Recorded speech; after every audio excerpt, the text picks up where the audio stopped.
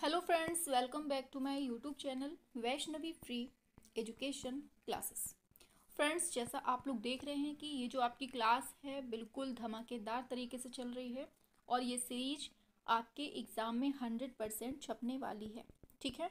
इसलिए बोला जा रहा है आपसे कि ये जितनी भी क्लासें हो रही हैं, इनको बिल्कुल नहीं छोड़ना है, ठीक है?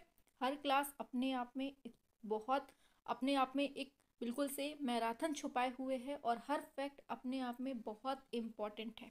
ठीक है? हर फैक्ट पिछले एग्ज़ाम में पूछा जा चुका है और यहाँ से रिलेटेड जितने भी फैक्ट आपको बताए जाएँगे, सारे के सारे बेहद इंपॉर्टेंट हैं। और आप कोई भी एग्ज़ाम दे लीजिए T G T P G T L T grade यहाँ से मतलब क्वेश्चन पूछा ही जाता है। ठीक है? तो आप लोगों को क्या करना है? जो वी एफ़ ई मतलब वैष्णवी फ्री एजुकेशन चैनल जो है इसमें प्लेलिस्ट बना दी है हमने ये सीरीज़ की तो आप लोग जाकर देख सकते हैं, ठीक है? ना होगा तो नीचे हम डिस्क्रिप्शन बॉक्स पर आपको प्लेलिस्ट की लिंक दे देंगे तो आप लोग जाकर वहाँ से पढ़ लीजिएगा, ठीक है? इसके पहले जितनी भी क्लासेस हुई हैं, लगभग चार से पाँच क्लासेस पढ़ा दी हैं हमने, ठीक है? आज हमें नेक्स्ट चैप्टर स्टार्ट करना है, और चैप्टर का नाम है मुगल तथा दक्षिणी चित्रकला, ठीक है? तो सभी लोग रेडी हैं? एक बार थम्सअप करेंगे, सभी लोग रेडी हैं? क्लास स्टार्ट की जाए अपनी। चलिए क्लास स्टार्ट करते हैं ठीक है? हम्म, तो चैप्टर का नाम लिखते हैं फिर अपनी क्लास को स्टार्ट करते हैं। क्या नाम है? मुगल तथा दक्षिणी कला ठीक है? पहले हम मुगल चित्रकला के जो कुछ फैक्ट हैं थोड़ा बहुत समझ लेते हैं फिर उसके बाद हम सीधे बाबर अकबर से शुरू करेंगे। ठीक है? चलिए। तो देखिए, सबसे पहले हमें जानना होगा कि जो मुगल कला है, अपनी मुगल चित्रकला है, इसका टाइम पीरियड क्या है? तो याद रखना है, ये पंद्रह से लेकर अट्ठारह तक का हमें टाइम पीरियड मिलता है, ठीक है? पूछा जाएगा मुगल चित्रकला का जो आदि स्रोत है, वो कहाँ था? तो ये पूछा जाता है तो कहाँ था? समरकंद और हिरात, ठीक है? और कला का द्वितीय स्वर्ण युग किसको कहा जाता है? मुगल काल को कहते हैं, ठीक है? मुगल काल को कला का द्वितीय स्वर्ण युग कहते हैं, ठीक है? और पूछा जाता है कि मुगलों के पूर्वज कहाँ से आए थे? तो ये हमारे कहाँ से? मंगोल से आए थे। ठीक है? मंगोल या फिर कह दीजिए मध्य एशिया।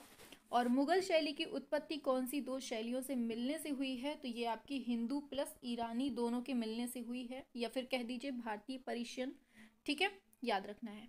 और ईरान के राजाओं को किस सचित्र पोथियों में अंकित किया जाता है? कौन सी? तो याद रखना है, ये है आपकी शाहनामा।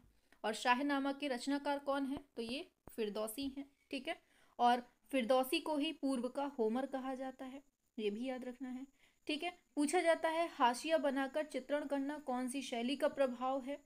तो ये फारसी शैली का है, जो हाशिया बनाकर चित्रण करते हैं, इसमें फारसी शैली का प्रभाव है, ठीक है? और भारत में सबसे पहले जो स्थिर चित्रण हुए हैं, जिसे हम स्टिल लाइफ बोलते हैं ये कहाँ देखने को मिला है?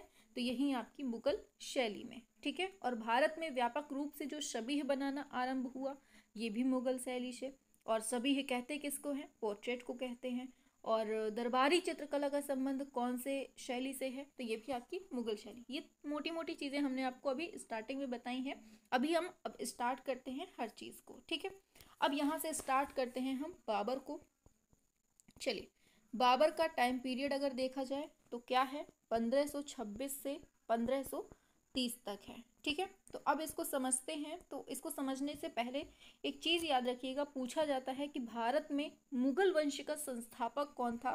तो यही अपना बाबर था। ठीक है? और बाबर के जन्म की बात की जाए तो इसका जन्म वैलेंटाइन डे के दिन होता है। चौदह फरवरी चौदह में होता है। कहाँ पर? फरगना घाटी के अंजीद अंदीजन में, जो कि वर्तमान में उज्बेकिस्तान में है, ठीक है? और बाबर को कौन सी उपाधि दी गई थी? इसको कलंदर की उपाधि दी गई थी, ठीक है? और बाबर ने अपनी आत्मकथा, बाबर की आत्मकथा कौन सी थी? तो जो कि बाबरी थी। इसमें हिरात को किस रूप में वर्णित किया गया है? तो बुद्ध जीवियों से भरे शहर के रूप में हिरात को वर्णित किया गया है, ठीक है? यहाँ यहाँ तक समझ में आ गया होगा। आगे बढ़ते हैं। तो बाबर ने अपनी आत्मकथा तुजो के बाबरी जो थी, क्या थी? तुजो के बाबरी इसकी रचना किस भाषा में की है? तो इनकी जो खुद की मातृभाषा थी, चगताई तुर्की में की है। कौन सी भाषा में? ता से तुर्गी, तुर्की हो गया और ता से तुजो के बाबरी हो गया। ऐसे याद रखिए, ठीक है? और तुजो के बाबरी जो है, इसी को हम बाबरनामा भी बोलते हैं। इसका फारसी में अनुवाद किया गया था और फारसी में अनुवाद किसने किया? अब्दुल रहीम खान खाना ने किया था, ठीक है? याद रखना है। और बाबर जो है ना, इसको हम मुबैयान नामक जो पद्य शैली है कौन सी? मुबैयान नामक जो पद्य शैली है, इसका आविष्कारक भी मानते हैं, ठीक है? और इसी ने आगरा में ज्यामितीय विधि से एक बाग, जिसका नाम है नूर अफगान नूर अफगान बाग, जिसे हम आराम बाग बोलते हैं, कहाँ है? आगरा में है, इसको ज्यामितीय विधि से बनवाया था। किसने? बाबर ने ही, ठीक है? और बाबर ने आराम बाग, या फिर कह दीजिए नूर अफगान, इस बाग का निर्माण कहाँ करवाया था? ये भी खूब पूछा जाता है तो याद रखना है, आगरा में करवाया था हमने आपको बता दिया। ठीक है? आगे चलते हैं। तो बाबर ने किसके चित्रों की आलोचना की थी? तो इसने बेहजाद के चित्रों की आलोचना की थी जो कि ये ईरानी चित्रकार था। ठीक है? और बेहजाद कहाँ का चित्रकार था? ये खुरांस और हिरात का चित्रकार था। ठीक है? और किस ई, आ, किस मतलब पूछा जाता है कि किस ईरानी चित्रकार को पूर्व का राफेल कहते हैं? तो यही है अपना बेहजाद जिसको हम पूर्व का राफेल बोलते हैं। ठीक है, यहाँ तक समझ आया, आगे चलते हैं। पूछा जाएगा कि बाबर द्वारा भारत में लाई गई जो शाहनामा है, इसकी एक सचित्र प्रति अंग्रेज़ों द्वारा चुरा ली गई थी, ठीक है? और ये चुरा कर कहाँ ले गई है ले ले जाई गई? तो ये एशियाटिक सोसाइटी लंदन में इसको ले गया गया, ठीक है? और पूछा जाता है कि जीवनी लेखकों का राजकुमार किसको कहते हैं? तो यही है अपना बाबर, जीवनी लेखकों का राजकुमार। और मुगल कालीन स्थापत्य की जो शुरुआत होती है, वो किसके समय में होती है? स्टार्टिंग की बात हो रही है, ठीक है? तो बाबर के समय में। और मुगल कालीन प्रथम स्थापत्य कौन सा है? पूछा जाता है तो ये आपका काबुली बाग मस्जिद है, जो कि कहाँ है? पानीपत, हरियाणा में है, याद रखना है, ठीक है? और बाबरी मस्जिद कहाँ है? ये आपके अयोध्या में है, सभी जानते हैं कहाँ है? अयोध्या में है बाबरी मस्जिद। और इसके निर्माण की बात की जाए, किसने करा था? तो ये बाबर का एक सेनापति था मीर बाकी इसने इसका निर्माण किया था। ठीक है? आगे चलते हैं। ये थी बाबर की कुछ मोटी मोटी चीज़ें जो आपके एग्ज़ाम में फैक्टली पूछ ली जाती हैं। ठीक है? मेन मेन चीज़ें हमने आपको बता दी। आगे चलते हैं। नेक्स्ट आता है आपका हुमायूं। अभी और भी बहुत सारे फैक्ट हैं। अभी पढ़ते जाइए, बस समझते जाइए कैसे हम आपको चुटकी में याद करवाते हैं। तो हुमायूं के बारे में समझते हैं। तो इसका पूरा नाम क्या है? नसीरुद्दीन मोहम्मद इसका पूरा नाम है। ये याद रखना है।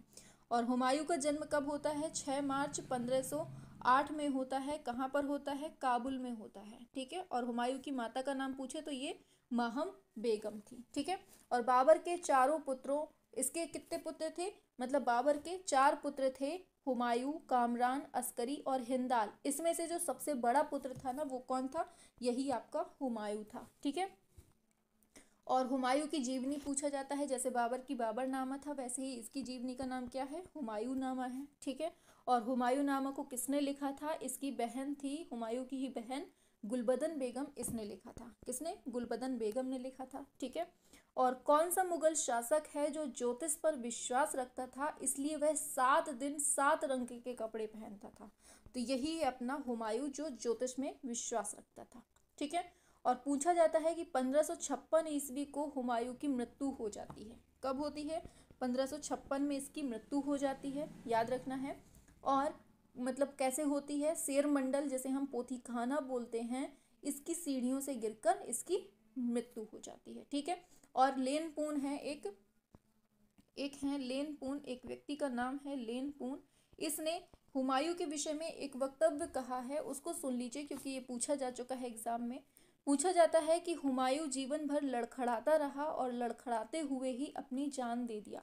किसने कहा था ये? ये लेनपून ने कहा था। ठीक है, ऐसे ही एक क्वेश्चन और पूछा जाता है कि ईरानी चित्रकार अब्दुलशमद सीरा जी और मीर सैयद अली इनको किस मुगल शासक ने सबसे पहले अपने दरबार में आमंत्रित किया था? किसकी बात हो रही है? पहला, अब्दुलशमद सीरा जी प्लस दूसरा, मीर सैयद अली। ठीक है, इन दोनों को किसने आमंत्रित किया? तो इसी हुमायूं ने किया था, ठीक है? और हुमायूं के दरबारी चित्रकार कहाँ के रहने वाले थे? तो ये आपके कहाँ के? ईरान या फिर फारस कह दीजिए। और हुमायूं ने किस कहानी का चित्रण प्रारंभ करवाया था? तो इसने अमीर हमजा अमीर हमजा कहानी का किया था, ठीक है? और क्या है कि हुमायूं काल के अमीर हमजा कहानी के जो चित्र हैं, वो किस पर बने हैं? तो ये सूती कपड़े पर बने हैं। किस पर बने हैं? सूती कपड़े पर बने हैं, याद रखना है, ठीक है? और किसने चबूतर के सॉरी किसने कबूतर सॉरी थोड़ा सा जीभ लड़खड़ा गई, ठीक है? पूछा जाता है कि किसने कबूतर के पंख को काट कर चित्रकारों से उसका चित्र बनवाया था तो यही था हुमायूं, ठीक है? और पूछा जाता है दिल्ली में जो दीन पनाह नगर है, जिसे हम विश्व का शरण स्थल बोलते हैं। देखिए, ऐसे भी पूछा जा सकता है कि विश्व का शरण स्थल क्या है? तो आपका दिल्ली में दीन पनाह नगर है, ठीक है? और ये जो नगर है, इसका निर्माण किसने करवाया था? मतलब दीन पनाह नगर का तो ये हुमायूं ने ही करवाया था। याद रखना है, ठीक है? किसने? हुमायूं ने। पूछा जाएगा, शेर शाह ने दिल्ली के पुराने किले के अंदर एक मस्जिद बनवाई थी। दिल्ली का जो पुराना किला है, उसके अंदर एक मस्जिद बनवाई थी। उस मस्जिद का नाम क्या है? किला ए कोहना नाम है, ठीक है? और हुमायूं के आविष्कारों में एक चीज़ मिलती है, चहार ताक नामक नाव। कौन सी? चहार चहार ताक नामक नाव मिलती है इसके आविष्कारों में, ठीक है? तो ये आपके हुमायूं थे। आगे बढ़ते हैं। आगे चलते हैं। अकबर के बारे में समझते हैं। ठीक है? अकबर के बारे में। तो यहाँ से देखते हैं तो अकबर के बारे में सबसे पहले याद रखना है इनका पूरा नाम। तो इनका पूरा नाम था जलालुद्दीन मोहम्मद। अकबर नाम था। ठीक है? याद रखना है। और अकबर को और किस नाम से जाना जाता है? ये पूछा जाता है, सुन लीजिए। अकबर ए आज़म के नाम से जाना जाता है। अकबर ए आज़म के नाम से, शहनशाह अकबर के नाम से और फिर महाबली शहनशाह के नाम से, ठीक है? ऐसे ही याद रखना है। और पूछा जाता है अकबर किसका पौत्र था? मतलब अकबर पौत्र था तो याद रखना है, मुगल साम्राज्य के जो संस्थापक थे, जहीरुद्दीन मोहम्मद बाबर, इनका पौत्र था, ठीक है? और किसका पौत्र था? बाबर का था, याद रखना है, ठीक है? और पुत्र किसका था? तो ये हुमायूं प्लस हमीदा दोनों का पुत्र था, ठीक है? हमीदा और हुमायूं। ठीक है? और अकबर के जन्म की बात की जाए, कब होता है? तो इसका जन्म होता है 1542 में, कहाँ पर? अमरकोट सिंध में। राजपूत शासक थे राणा बीरबल शाह मतलब बीरबल के मतलब बीर साल के महल में। सॉरी बीरबल निकल आया। बीर साल के महल में हुआ था। ठीक है? और पूछा जाता है कि मुखाकृति चित्रण कौन से मुगल शासक के समय में होता है? तो मुखाकृति चित्रण यही आपके अकबर के समय में होता है। याद रखना है, ठीक है? और पूछा जाता है कि अकबर का जो राज्याभिषेक हुआ था, वो कितने वर्ष की उम्र में हुआ था? जब ये तेरह साल का था, तब हुआ था। और कहाँ हुआ था? कलानौर आपके पंजाब में पड़ता है तो यहीं पर हुआ था। ठीक है? पंद्रह सौ छप्पन में हुआ था, ये भी लिख लीजिए। ठीक है? आगे पूछा जाता है कि अकबर का विवाह कब होता है तो पंद्रह सौ बासठ में होता है। ठीक है? और आमेर के कछवाहा राजपूत भारमल की पुत्री थी, जोधाबाई, इनसे होता है। उल्टा करके पूछ ले जोधाबाई किसकी पत्नी थी? तो अकबर की थी। याद रखना, ठीक है? एक चीज़ बहुत इंपॉर्टेंट है कि भाईचारा के लिए जो मतलब देखी जाती है, सुलह एक कुल की नीति। भाईचार आपसी भाईचारे के लिए, हिंदू, मुस्लिम एकता के लिए सुलह एक कुल जो नीति अपनाई थी, वो इसी अकबर ने अपनाई थी, ठीक है? और अकबर के दरबार में 1580 ईस्वी में फतेहपुर सीकरी से आने वाले प्रथम जैसुइट मिशन का जो नेतृत्व किया है, वो किसने किया है? तो याद रखना है, ये फादर एका बीवा थे, इन्होंने किया था, ठीक है? और अकबर जो है ना, ये 1575 ईस्वी में इबादत खाना, जिसे हम पूजा ग्रह कहते हैं, इसकी स्थापना की थी, कहाँ पर की थी? ये की थी फतेहपुर सीकरी में की थी, ठीक है? याद रखना है। और पूछा जाता है, जगत गुरु की उपाधि प्रदान किसको की थी अकबर ने? तो ये जैनाचार्य हरि विजय सूरी थे, जिनको जगत गुरु की उपाधि प्रदान की थी। ठीक है? और अकबर का मकबरा पूछ ले कहाँ है? तो ये है सिकंदराबाद में है। कहाँ है? सिकंदराबाद, आगरा में पड़ता है, उत्तर प्रदेश में यहाँ है। ठीक है? और अकबर के शासनकाल का प्रथम स्थापत्य कौन सा है? तो ये याद रखना है, कौन सा है? हुमायूं का मकबरा है, जो कि किसने बनवाया था? ये हाजी बेगम ने बनवाया था। ठीक है? और हाजी का मतलब पूछ ले, क्या होता है? तो जिसने मक्का में स्थित तीर्थ स्थल की यात्रा की होती है ना, उसको हम हाजी बोलते हैं, ठीक है? याद रखना है। और पूछा जाएगा, अकबर का मकबरा जो है, इसका मकबरा जो है, किसने बनवाया था? तो इसका मकबरा, इसके पुत्र जहांगीर ने बनवाया था, ठीक है? और मुगल शैली की नींव किसने रखी बोल दे? तो अकबर ने रखी है। और चित्रकला को प्रोत्साहित किसने किया है? तो यही अकबर ने किया है। पूछ लेगा। देखिए, ये क्वेश्चन पूछा जाता है इंपॉर्टेंट है थोड़ा सा कि जो आईने अकबरी है, इसके मुख्य चित्रकार कौन थे? किसके? आईने अकबरी के। आईने अकबरी के कौन थे? तो याद रखना है, केशव दास थे धर्मदास थे और बसावन ये थे, ठीक है? पूछा जाएगा, दीन इलाही धर्म किसने चलाया? तो ये अकबर ने चलाया है। किसने चलाया है? अकबर ने चलाया है, दीन इलाही धर्म, ठीक है? इंपॉर्टेंट है कि 1575 में फतेहपुर सीकरी में इन्होंने बुलंद दरवाज़ा बनवाया था। कौन सी? विजय के उपलक्ष्य में तो ये गुजरात विजय के उपलक्ष्य में इन्होंने बनवाया था, ठीक है? और पूछा जाता है कि जो बुलंद दरवाज़ा है, इसकी ऊंचाई कितनी है? तो ये लगभग आपका एक फीट है, ठीक है? और पूछा जाता है कि शबीह जो है सबीह रचना का बड़े पैमाने पर जो आरंभ होता है, कहाँ पर होता है? अकबर के ही टाइम पे। और रूप चित्र का निर्माण किसने शुरू कराया? अकबर ने कराया। शबीह चित्रों को किसके समय में महत्व मिला? अकबर के समय में। और सबसे अधिक जो व्यक्ति चित्र बनते हैं, वो किसके समय में बनते हैं? तो ये भी अकबर के ही टाइम पे बनते हैं, ठीक है? और मुगल शैली में जो व्यक्ति चित्रण को विशेष स्थान मिला है, वो भी इसी के टाइम पे, अकबर के टाइम पे, ठीक है? और भारत में दरबारी इतिहास लेखन की परंपरा की शुरुआत पूछे, तब भी अकबर के समय में, ठीक है? और पूछा जाएगा कि फिर ये चीज़ें याद रखनी है, ठीक है सारी? आगे पूछा जा सकता है आपसे हाँ चलिए, आगे पूछा जा सकता है कि किस ग्रंथ का चित्रण मुगल शैली में हुआ है? तो ये जो हरिवंश पुराण है, ऐसे पूछा जाता है, हरिवंश पुराण जो है, इसका चित्रण कौन सी शैली में हुआ है? तो ये मुगल शैली में हुआ है, ठीक है? और वास्तविक रूप में मुगल शैली का निर्माण किसके शासनकाल में होता है? तो ये अकबर के टाइम पे होता है। और आईने अकबरी का रचयिता कौन है? तो ये अबुल फजल है, ठीक है? और किस मुगल सम्राट ने महान संगीतज्ञ हरिदास से भेंट की थी? किसने की थी? तो ये अकबर हैं जिन्होंने भेंट की थी, ठीक है? और अकबर के समय उसके तस्वीर खाने में कुल कितने चित्रकार काम करते थे? तो यहाँ पर 260 चित्रकार काम करते थे, जिसमें से छप्पन प्रतिशत हिंदू थे। कितने? छप्पन प्रतिशत हिंदू थे, ठीक है? और अकबर कालीन चित्रकारों में सर्वाधिक जो संख्या थी ना, वो हिंदू चित्रकारों की ही थी, ठीक है? हिंदू चित्रकार की। और अकबर कालीन चित्रों की जो विशेषता है ना, वो यही है कि यहाँ पर दरबारी चित्र मिलते हैं। कैसे? दरबारी चित्र चित्र मिलते हैं, ठीक है? और मुगल चित्रकार जो बसावन है, वो ये इन्हीं के दरबार में था, किसके? अकबर के टाइम पे, ठीक है? तो बहुत अच्छे से समझ में आ रहा होगा। थोड़ी सी भी क्लास अगर पसंद आया करे तो लाइक वाइक कर दिया करिए, ठीक है? अभी तो अकबर के बारे में बहुत सारी चीज़ें पढ़नी है। क्योंकि मेनली जो है ना आपके एग्ज़ाम में अकबर ही आपका अकबर मतलब बाबर, हुमायूं ये ज़्यादा नहीं है इंपॉर्टेंट लेकिन अकबर से ज़्यादा क्वेश्चन पूछे जाते हैं, ठीक है? आगे चलते हैं। तो अकबर के दरबार का प्रसिद्ध छवि चित्रकार कौन था? तो ये आपका कौन था? बसावन था। और अकबरी दरबार मतलब पूछा जाता है अकबरी दरबार का जो व्यंग्य चित्रकार था वो कौन था? यही बसावन था। और बसावन कौन सी जाति से था? ये अहीर था, ठीक है? और रज्मनामा जो है ना, ये रज्मनामा किसका है? तो ये महाभारत का फारसी में अनुवाद है, याद रखना है, ठीक है? और महाभारत का फारसी में अनुवाद किसने किया है? तो अब्दुल कादिर बदायूनी ने किया है। और अकबर कालीन चित्रित है अनवर ए सोहेली। इसका अनुवाद मतलब ये अनुवाद किसका है? तो ये आपका पंचतंत्र का है, ठीक है? और पंचतंत्र का ही फारसी में अनुवाद किस मतलब क्या नाम से है? तो ये है अयार ए दानिश के नाम से है। ठीक है? याद रखना है। और अनवर सुहेली जो है, इसका फारसी अनुवाद किया किसने है? तो इसका नाम इंपॉर्टेंट है, हुसैन इब्न अली बैज अल कासिफ इसने किया है। किसने? हुसैन इब्न अली बैज अल कासिफ ने। ठीक है?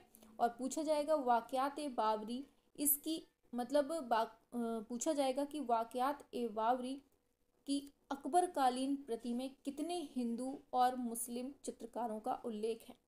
क्वेश्चन ध्यान से सुन लीजिए।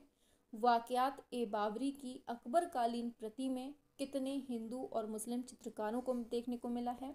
तो ये हमें उन्नीस उन्नीस हिंदू मिलते हैं, हिंदू चित्रकार और तीन मुसलमान मिलते हैं। किसमें वाक़ात बाबरी के अनुसार है।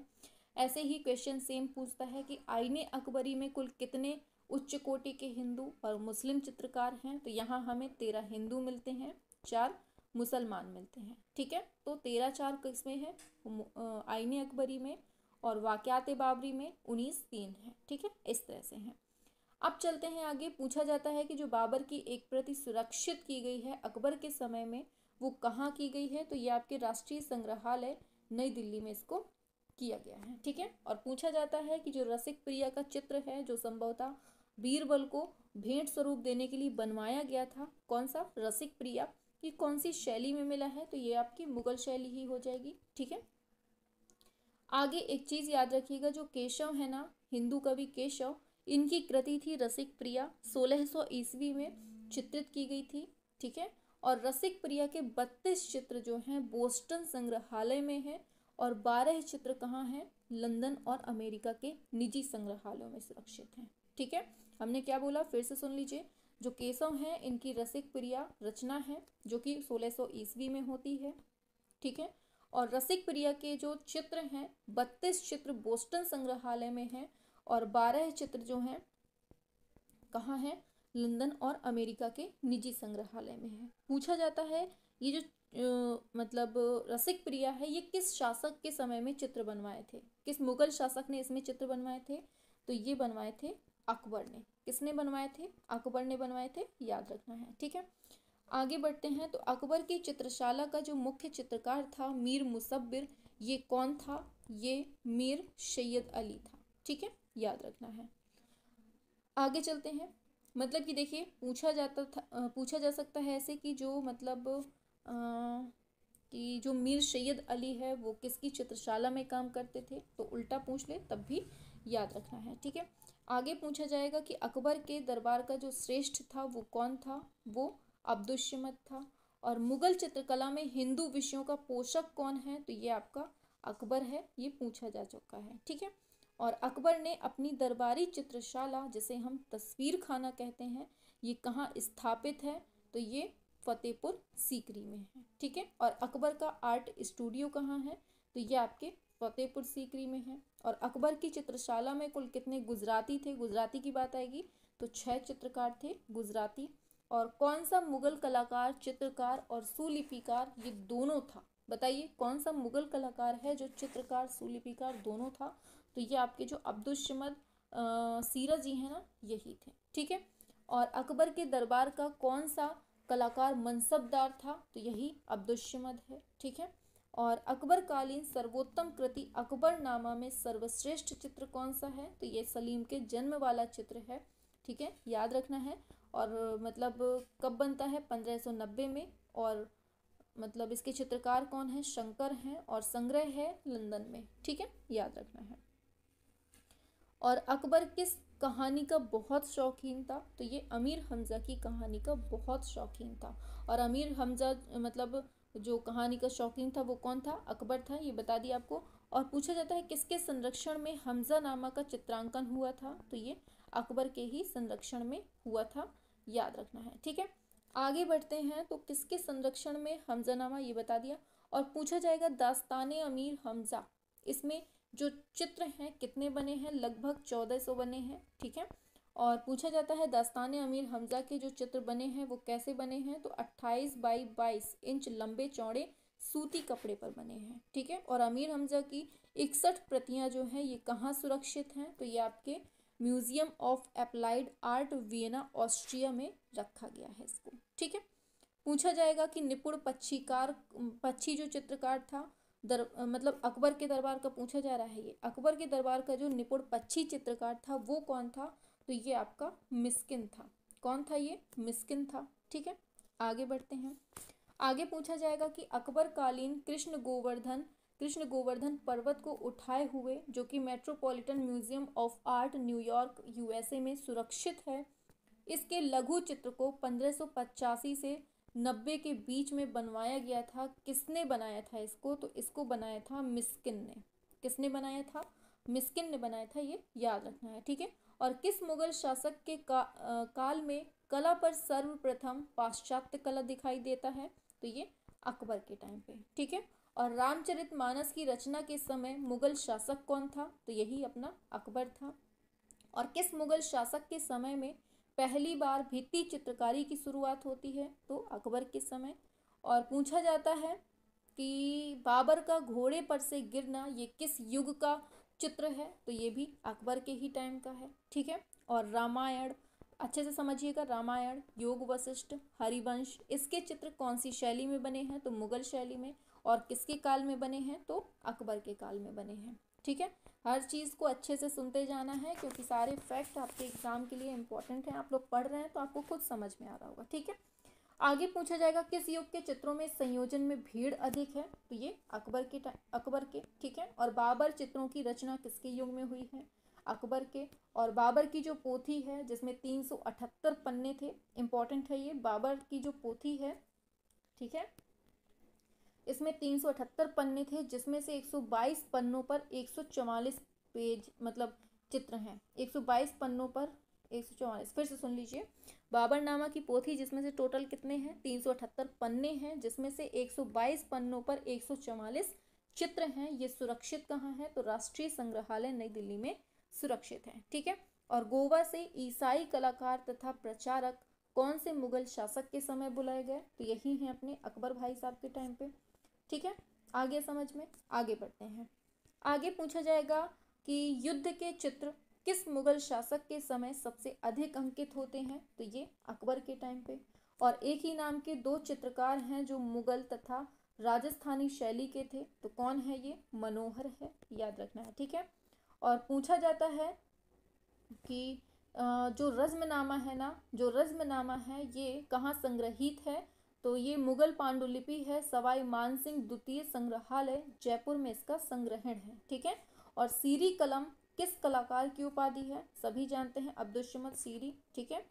और अकबर काल में शिल्प कला, शिल्प मतलब सॉरी पूछा जाएगा कि अकबर काल में शिल्प शास्त्र की कौन सी पुस्तक लिखी गई है?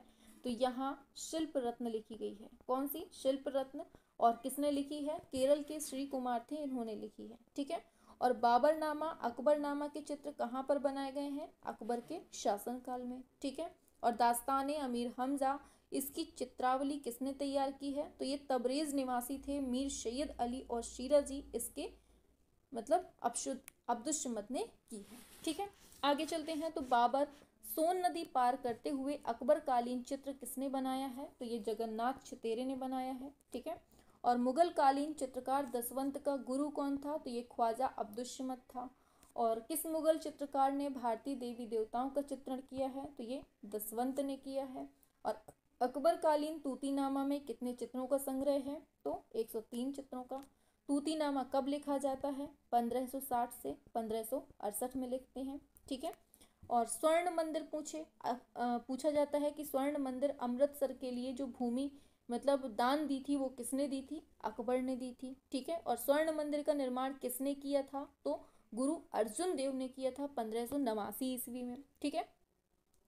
आगे बढ़ते हैं तो अकबर के समय तुर्की से फारसी में अनुवाद बाबर की आत्मकथा किस नाम से की जाती है? तो ये है वाकयात ए बाबरी जिसका टाइम पीरियड मिलता है पंद्रह ठीक है? और अकबर के शाही पुस्तकालय कहाँ कहाँ पर थे? तो ये आपके आगरा में थे, दिल्ली में थे, लाहौर में। ठीक है? ये पुस्तकालय। आगे चलते हैं तो अकबर के पोथी खाने में कितनी हस्तलिखित पुस्तकें हैं? तो लगभग इसके जो पोथी खाना है, यहाँ पर लगभग चौबीस हज़ार पुस्तकें थीं, जिनका मूल्य करीब लगभग साढ़े छः लाख रुपए था, ठीक है? और पूछा जाता है, इंडिया ऑफ़िस लाइब्रेरी कहाँ है? तो ये लंदन में है। फतेहपुर सीकरी की जामा मस्जिद किस नाम से जानी जाती है? तो ये शान ए सीकरी के नाम से, और आगरा किले में स्थित है जहांगीरी महल। इसका निर्माण किसने करवाया था? तो ये अकबर ने करवाया था, ठीक है? और 1960 की फ़िल्म मुगले आज़म में अकबर का चरित्र किसने निभाया था? तो ये पृथ्वीराज कपूर ने निभाया था। पूछा जाएगा, मुगले आज़म जो है, कब आती है? 1960 में आती है। और अकबर का करेक्टर कौन रोल करते हैं? तो ये पृथ्वीराज कपूर। ठीक है? पूछा जाता है कि 2008 में आती है। आशुतोष गोवरिकर द्वारा निर्देशित फ़िल्म जोधा अकबर कब आती है? 2008 में आती है। और इसमें जो अकबर और जोधा का चरित्र किया है मतलब रोल निभाया है किसने तो जो जोधा बनी थी, वो ऐश्वर्या राय बनी थी और अकबर बने थे ऋतिक रोशन। ठीक है? तो ये जो मूवी आती है, कब आती है? ये 2008 में आती है, जोधा अकबर और मुगल आज़म कब आती है? 1960 में आती है। तो यहाँ से जो आपके अकबर थे, वो कंप्लीट हो जाते हैं। ठीक है? उम्मीद है बहुत अच्छे से समझ में आया है। चलिए आगे बढ़ते हैं तो आगे जो है ना, अब हमें लगता है कि क्लास ज़्यादा लंबी ना हो जाए क्योंकि चैप्टर जो हैं काफ़ी बड़े हैं। तो एक काम करते हैं, अकबर को अकबर को पढ़ा, सॉरी, अकबर तो पढ़ा दिया है हमने, जहांगीर भी हम पढ़ा देते हैं, फिर शाहजहाँ से हम कल कर देंगे, ठीक है? वरना क्लास बहुत लंबी हो जाएगी क्योंकि ये मुगल चैप्टर जो है थोड़ा लंबा है, ठीक है? चलते हैं आगे तो अब पढ़ते हैं जहांगीर के बारे में, चलिए। समझ लेते हैं। जहांगीर को तो जहांगीर का टाइम पीरियड कब मिलता है? 1605 से 1627 में मिलता है। पूछेगा, इनका पूरा नाम क्या था? जहांगीर का तो याद रखना है, क्या नाम था? मिर्ज़ा नूरुद्दीन बेग मोहम्मद खान सलीम। क्या नाम था? मिर्ज़ा नूरुद्दीन बेग मोहम्मद खान सलीम था। ठीक है? जन्म कब होता है? पंद्रह में होता है। किसके गर्भ से होता है? जोधाबाई के गर्भ से होता है। ठीक है? और जो मतलब जहांगीर है, इसका विवाह किससे होता है? नूरजहाँ से होता है। और नूरजहाँ का जो मूल नाम है, ये मेहरुन्निसा है, ठीक है? और नूरजहाँ का संबंध किस वस्त्र कला से है तो इसका संबंध चिकनकारी से है। और पूछा जाता है कि जो नूरजहाँ की माँ है, उसका नाम है असमत बेगम। इन्होंने क्या किया था कि गुलाब से इत्र बनाने की विधि का आविष्कार किया था, इनकी माँ ने, ठीक है? पूछेगा जहांगीर का मकबरा कहाँ है? तो ये आपके शहादरा, लाहौर में है। और शहजादा सलीम की जो प्रेसी थी मतलब प्रेमिका थी, वो कौन थी? अनारकली थी। अनारकली का मकबरा कहाँ है? लाहौर, पाकिस्तान में है, ठीक है? और पूछा जाता है कि उन्नीस सौ ईस्वी में अनारकली के जीवन पर आधारित पहली फ़िल्म बनाई गई थी, कब? उन्नीस तिरपन में। अनारकली के जीवन से अब संबंधित। और अनारकली की भूमिका इसमें निभाई थी बीना राय ने, ठीक है? और पूछा जाता है किसने फारसी भाषा में अपनी आत्मकथा तुजो के जहांगीरी की रचना की है? तो ये किसने की है? जहांगीर ने की है, ठीक है? और प्रकृति जानवरों, फूलों के लिए अनन्य प्रेम जो है, वो किसने चित्रित की, किसमें चित्रित है? तो यही आपकी तुजो के जहांगीर में है। और मुगल चित्रकला का स्वर्णकाल किसको कहते हैं? जहांगीर के टाइम को कहते हैं, ठीक है? और किस मुगल शासक के शासनकाल में पशु पक्षियों का भव्य चित्रण हुआ है? तो यही है जहांगीर के टाइम पे। और शिकार के चित्र किस शैली में सबसे अधिक बने हैं? तो जहांगीर के समय बने हैं। और कौन सी शैली होगी? मुगल शैली होगी। और जहांगीर के समय शिकार के अनेक चित्र किसने बनाए हैं? बनाने वाले थे कौन? मनोहर थे। ठीक है? और मनोहर द्वारा निर्मित है शेर का शिकार करते हुए जहांगीर। इसका जो प्रसिद्ध चित्र है मनोहर का, कहाँ मतलब सुरक्षित है? तो ये एक प्रति जो है मास्को में है। और इसकी दूसरी प्रति ऑक्सफोर्ड में है। ठीक है, कहाँ? ऑक्सफोर्ड में और दूसरी है मास्को में। आगे चलते हैं तो मुगल चित्रकला किस शासक के काल में अपनी चरम पराकाष्ठा पर पहुँचती है? तो ये जहांगीर के ही टाइम पे पहुँचती है। ठीक है? आगे पूछा जा सकता है आपसे कि मुगल काल में चित्रकला का चरमोत्कर्ष किसके काल में? जहांगीर के। और मुगल कलम का सर्वश्रेष्ठ समय था कौन सा? जहांगीर का समय था। और कौन सा मुगल सम्राट चित्रकला को सबसे अच्छा समझता था?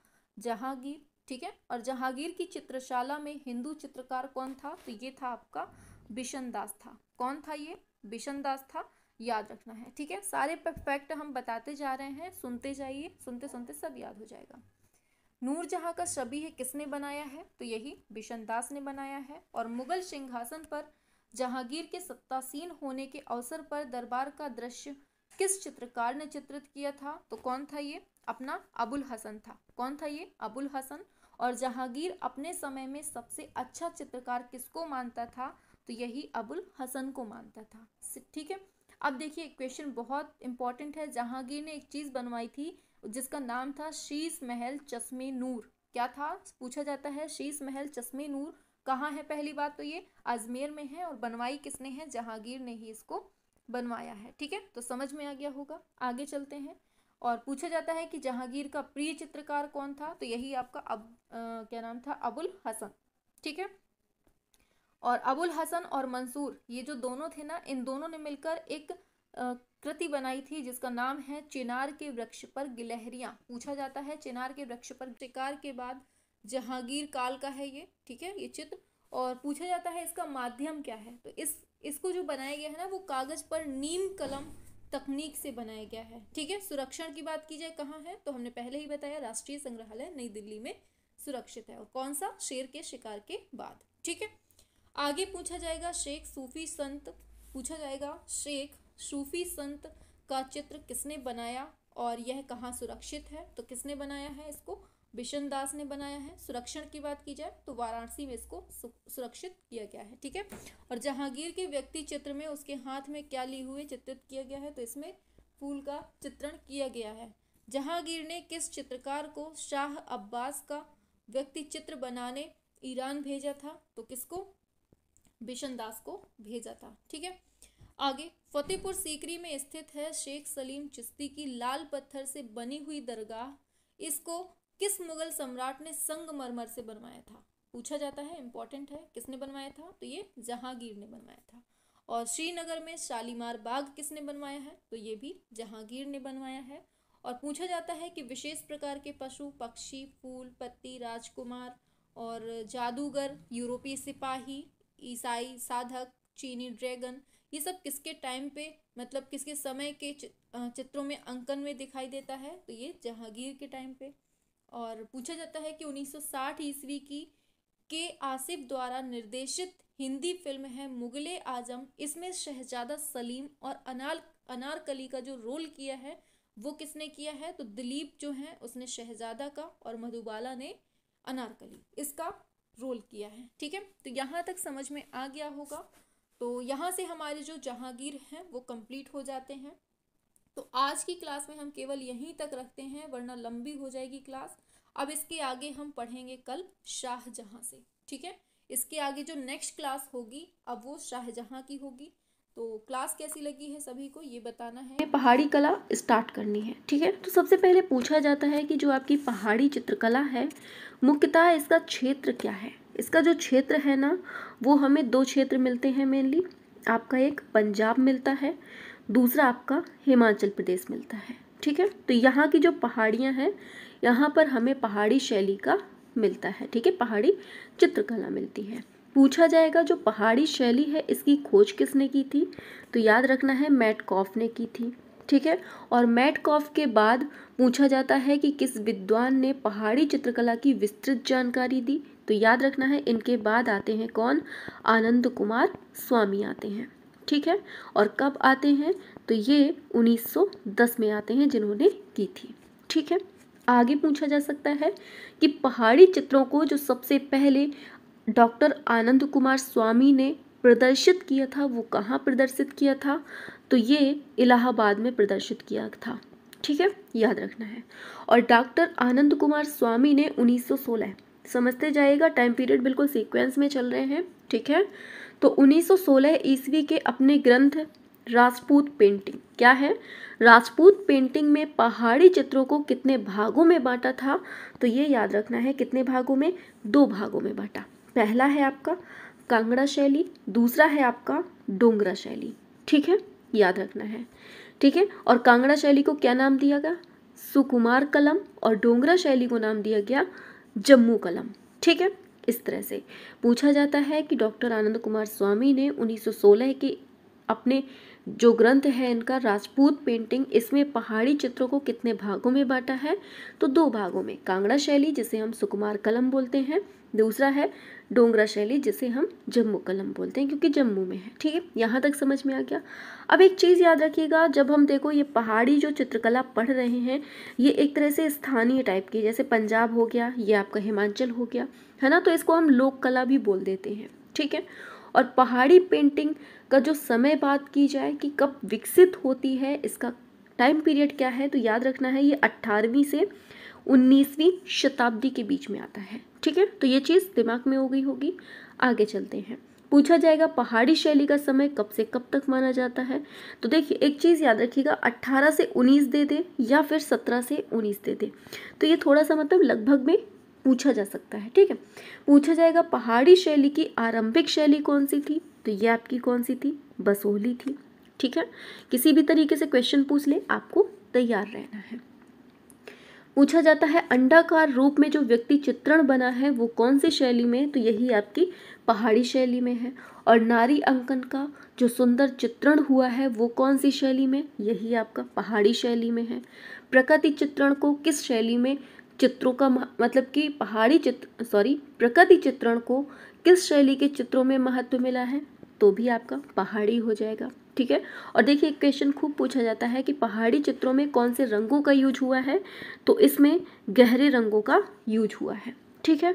और सबसे अधिक कृष्ण लीला के चित्र कौन सी शैली में मिलते हैं तो यही अपनी पहाड़ी शैली में मिलते हैं, ठीक है? और पूछा जाता है कि उन्नीस सौ बावन में डब्ल्यू जी आर्चर थे आगे चलते हैं। कब कब की बात बताई हमने? उन्नीस सौ बावन में डब्ल्यू जी आर्चर थे।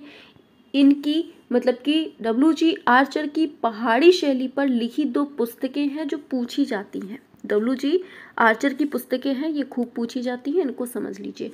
पहली है Indian painting in the Punjab hills कौन सी है Indian painting in Punjab hills ठीक है। और इनकी दूसरी पेंटिंग मतलब कि दूसरी पुस्तक का नाम है कांगड़ा। पेंटिंग। तो ये आपको याद रखनी है, ये दोनों जो पुस्तकें हैं, ये किसकी है? डब्ल्यू जी आर्चर की है, जो कि पहाड़ी शैली पर लिखी गई हैं। ठीक है? और कब लिखी गई हैं? उन्नीस सौ बावन में लिखी गई हैं। ठीक है? अब देखिए, पहाड़ी मिनिएचर पेंटिंग इसके लेखक कौन है? पूछा जाता है, पूछा जाएगा कि पहाड़ी मिनिएचर पेंटिंग के लेखक कौन है? तो ये आपके कार्ल खंडाला वाला है। ठीक है? ऐसे ही पूछा जाएगा कि ब्रजेंद्र नाथ गोस्वामी का जो संबंध मिलता है, वो कौन से मतलब कौन सी शैली से मिलता है तो ये याद रखना है आपको। ये पहाड़ी शैली से ब्रजेंद्र नाथ गोस्वामी, जिसे हम बोलते हैं बी एन गोस्वामी, इनका संबंध मिलता है। ठीक है? देखिए, जितने फैक्ट बता रहे हैं ना, सारे के सारे इंपॉर्टेंट हैं और थोड़ा सा गले में प्रॉब्लम है, इसलिए हम आज थोड़ा सा स्लो किए हुए हैं। ठीक है? और पूछा जाता है आगे आगे पूछ लिया जाएगा, जो ये बी एन गोस्वामी है, ये कौन है? तो ये एक तरह के कला इतिहासकार हैं और समीक्षक भी हैं, ठीक है? पूछा जाता है कि हिमालयन आर्ट के लेखक कौन है? तो याद रखना है ये, जेसी फ्रेंच हैं, ठीक है? और पहाड़ी चित्रों की संख्या पूछ ले कितनी है? तो ये लगभग आपकी पचास हज़ार है, ठीक है? और ये किसके अनुसार है? राधा कमल मुखर्जी के अनुसार। पूछा जा सकता है राधा कमल मुखर्जी कौन थे? तो ये मतलब ये एक अध्यक्ष थे और कहाँ पर अध्यक्ष थे? राज राज्य ललित कला अकादमी उत्तर प्रदेश में अध्यक्ष थे। ठीक है, आगे बढ़ते हैं आगे बढ़ेंगे तो पूछा जाएगा कि पहाड़ी कला में शासकों के दैनिक जीवन से संबंधित चित्र कहाँ पर अधिक बने हैं? तो ये बलवंत सिंह के दैनिक जीवन से संबंधित चित्र जम्मू शैली में और संसार चंद के दैनिक जीवन से संबंधित चित्र तीरा सुजानपुर में कांगड़ा शैली में अधिक बने हैं। याद रखना है, ठीक है? मतलब अगर बलवंत सिंह का पूछता है तो जम्मू शैली। अगर संसार चंद का पूछता है, एक सेकेंड।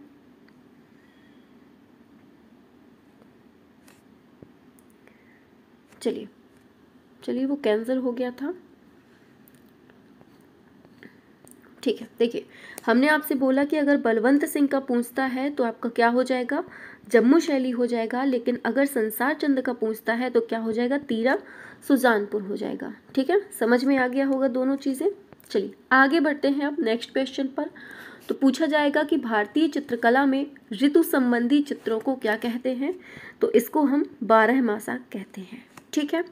और पहाड़ी शैली कैसी थी? एक लघु चित्रकला शैली थी। और पहाड़ी लघु चित्रों का सबसे बड़ा संग्रह कहाँ मिला है? तो government museum and art gallery Chandigarh में मिला है। ठीक है, अब यहाँ से स्टार्ट करते हैं हम अपनी बसोहली शैली को। कौन सी बसोहली शैली को स्टार्ट करते हैं? फटाफट से देख लेते हैं।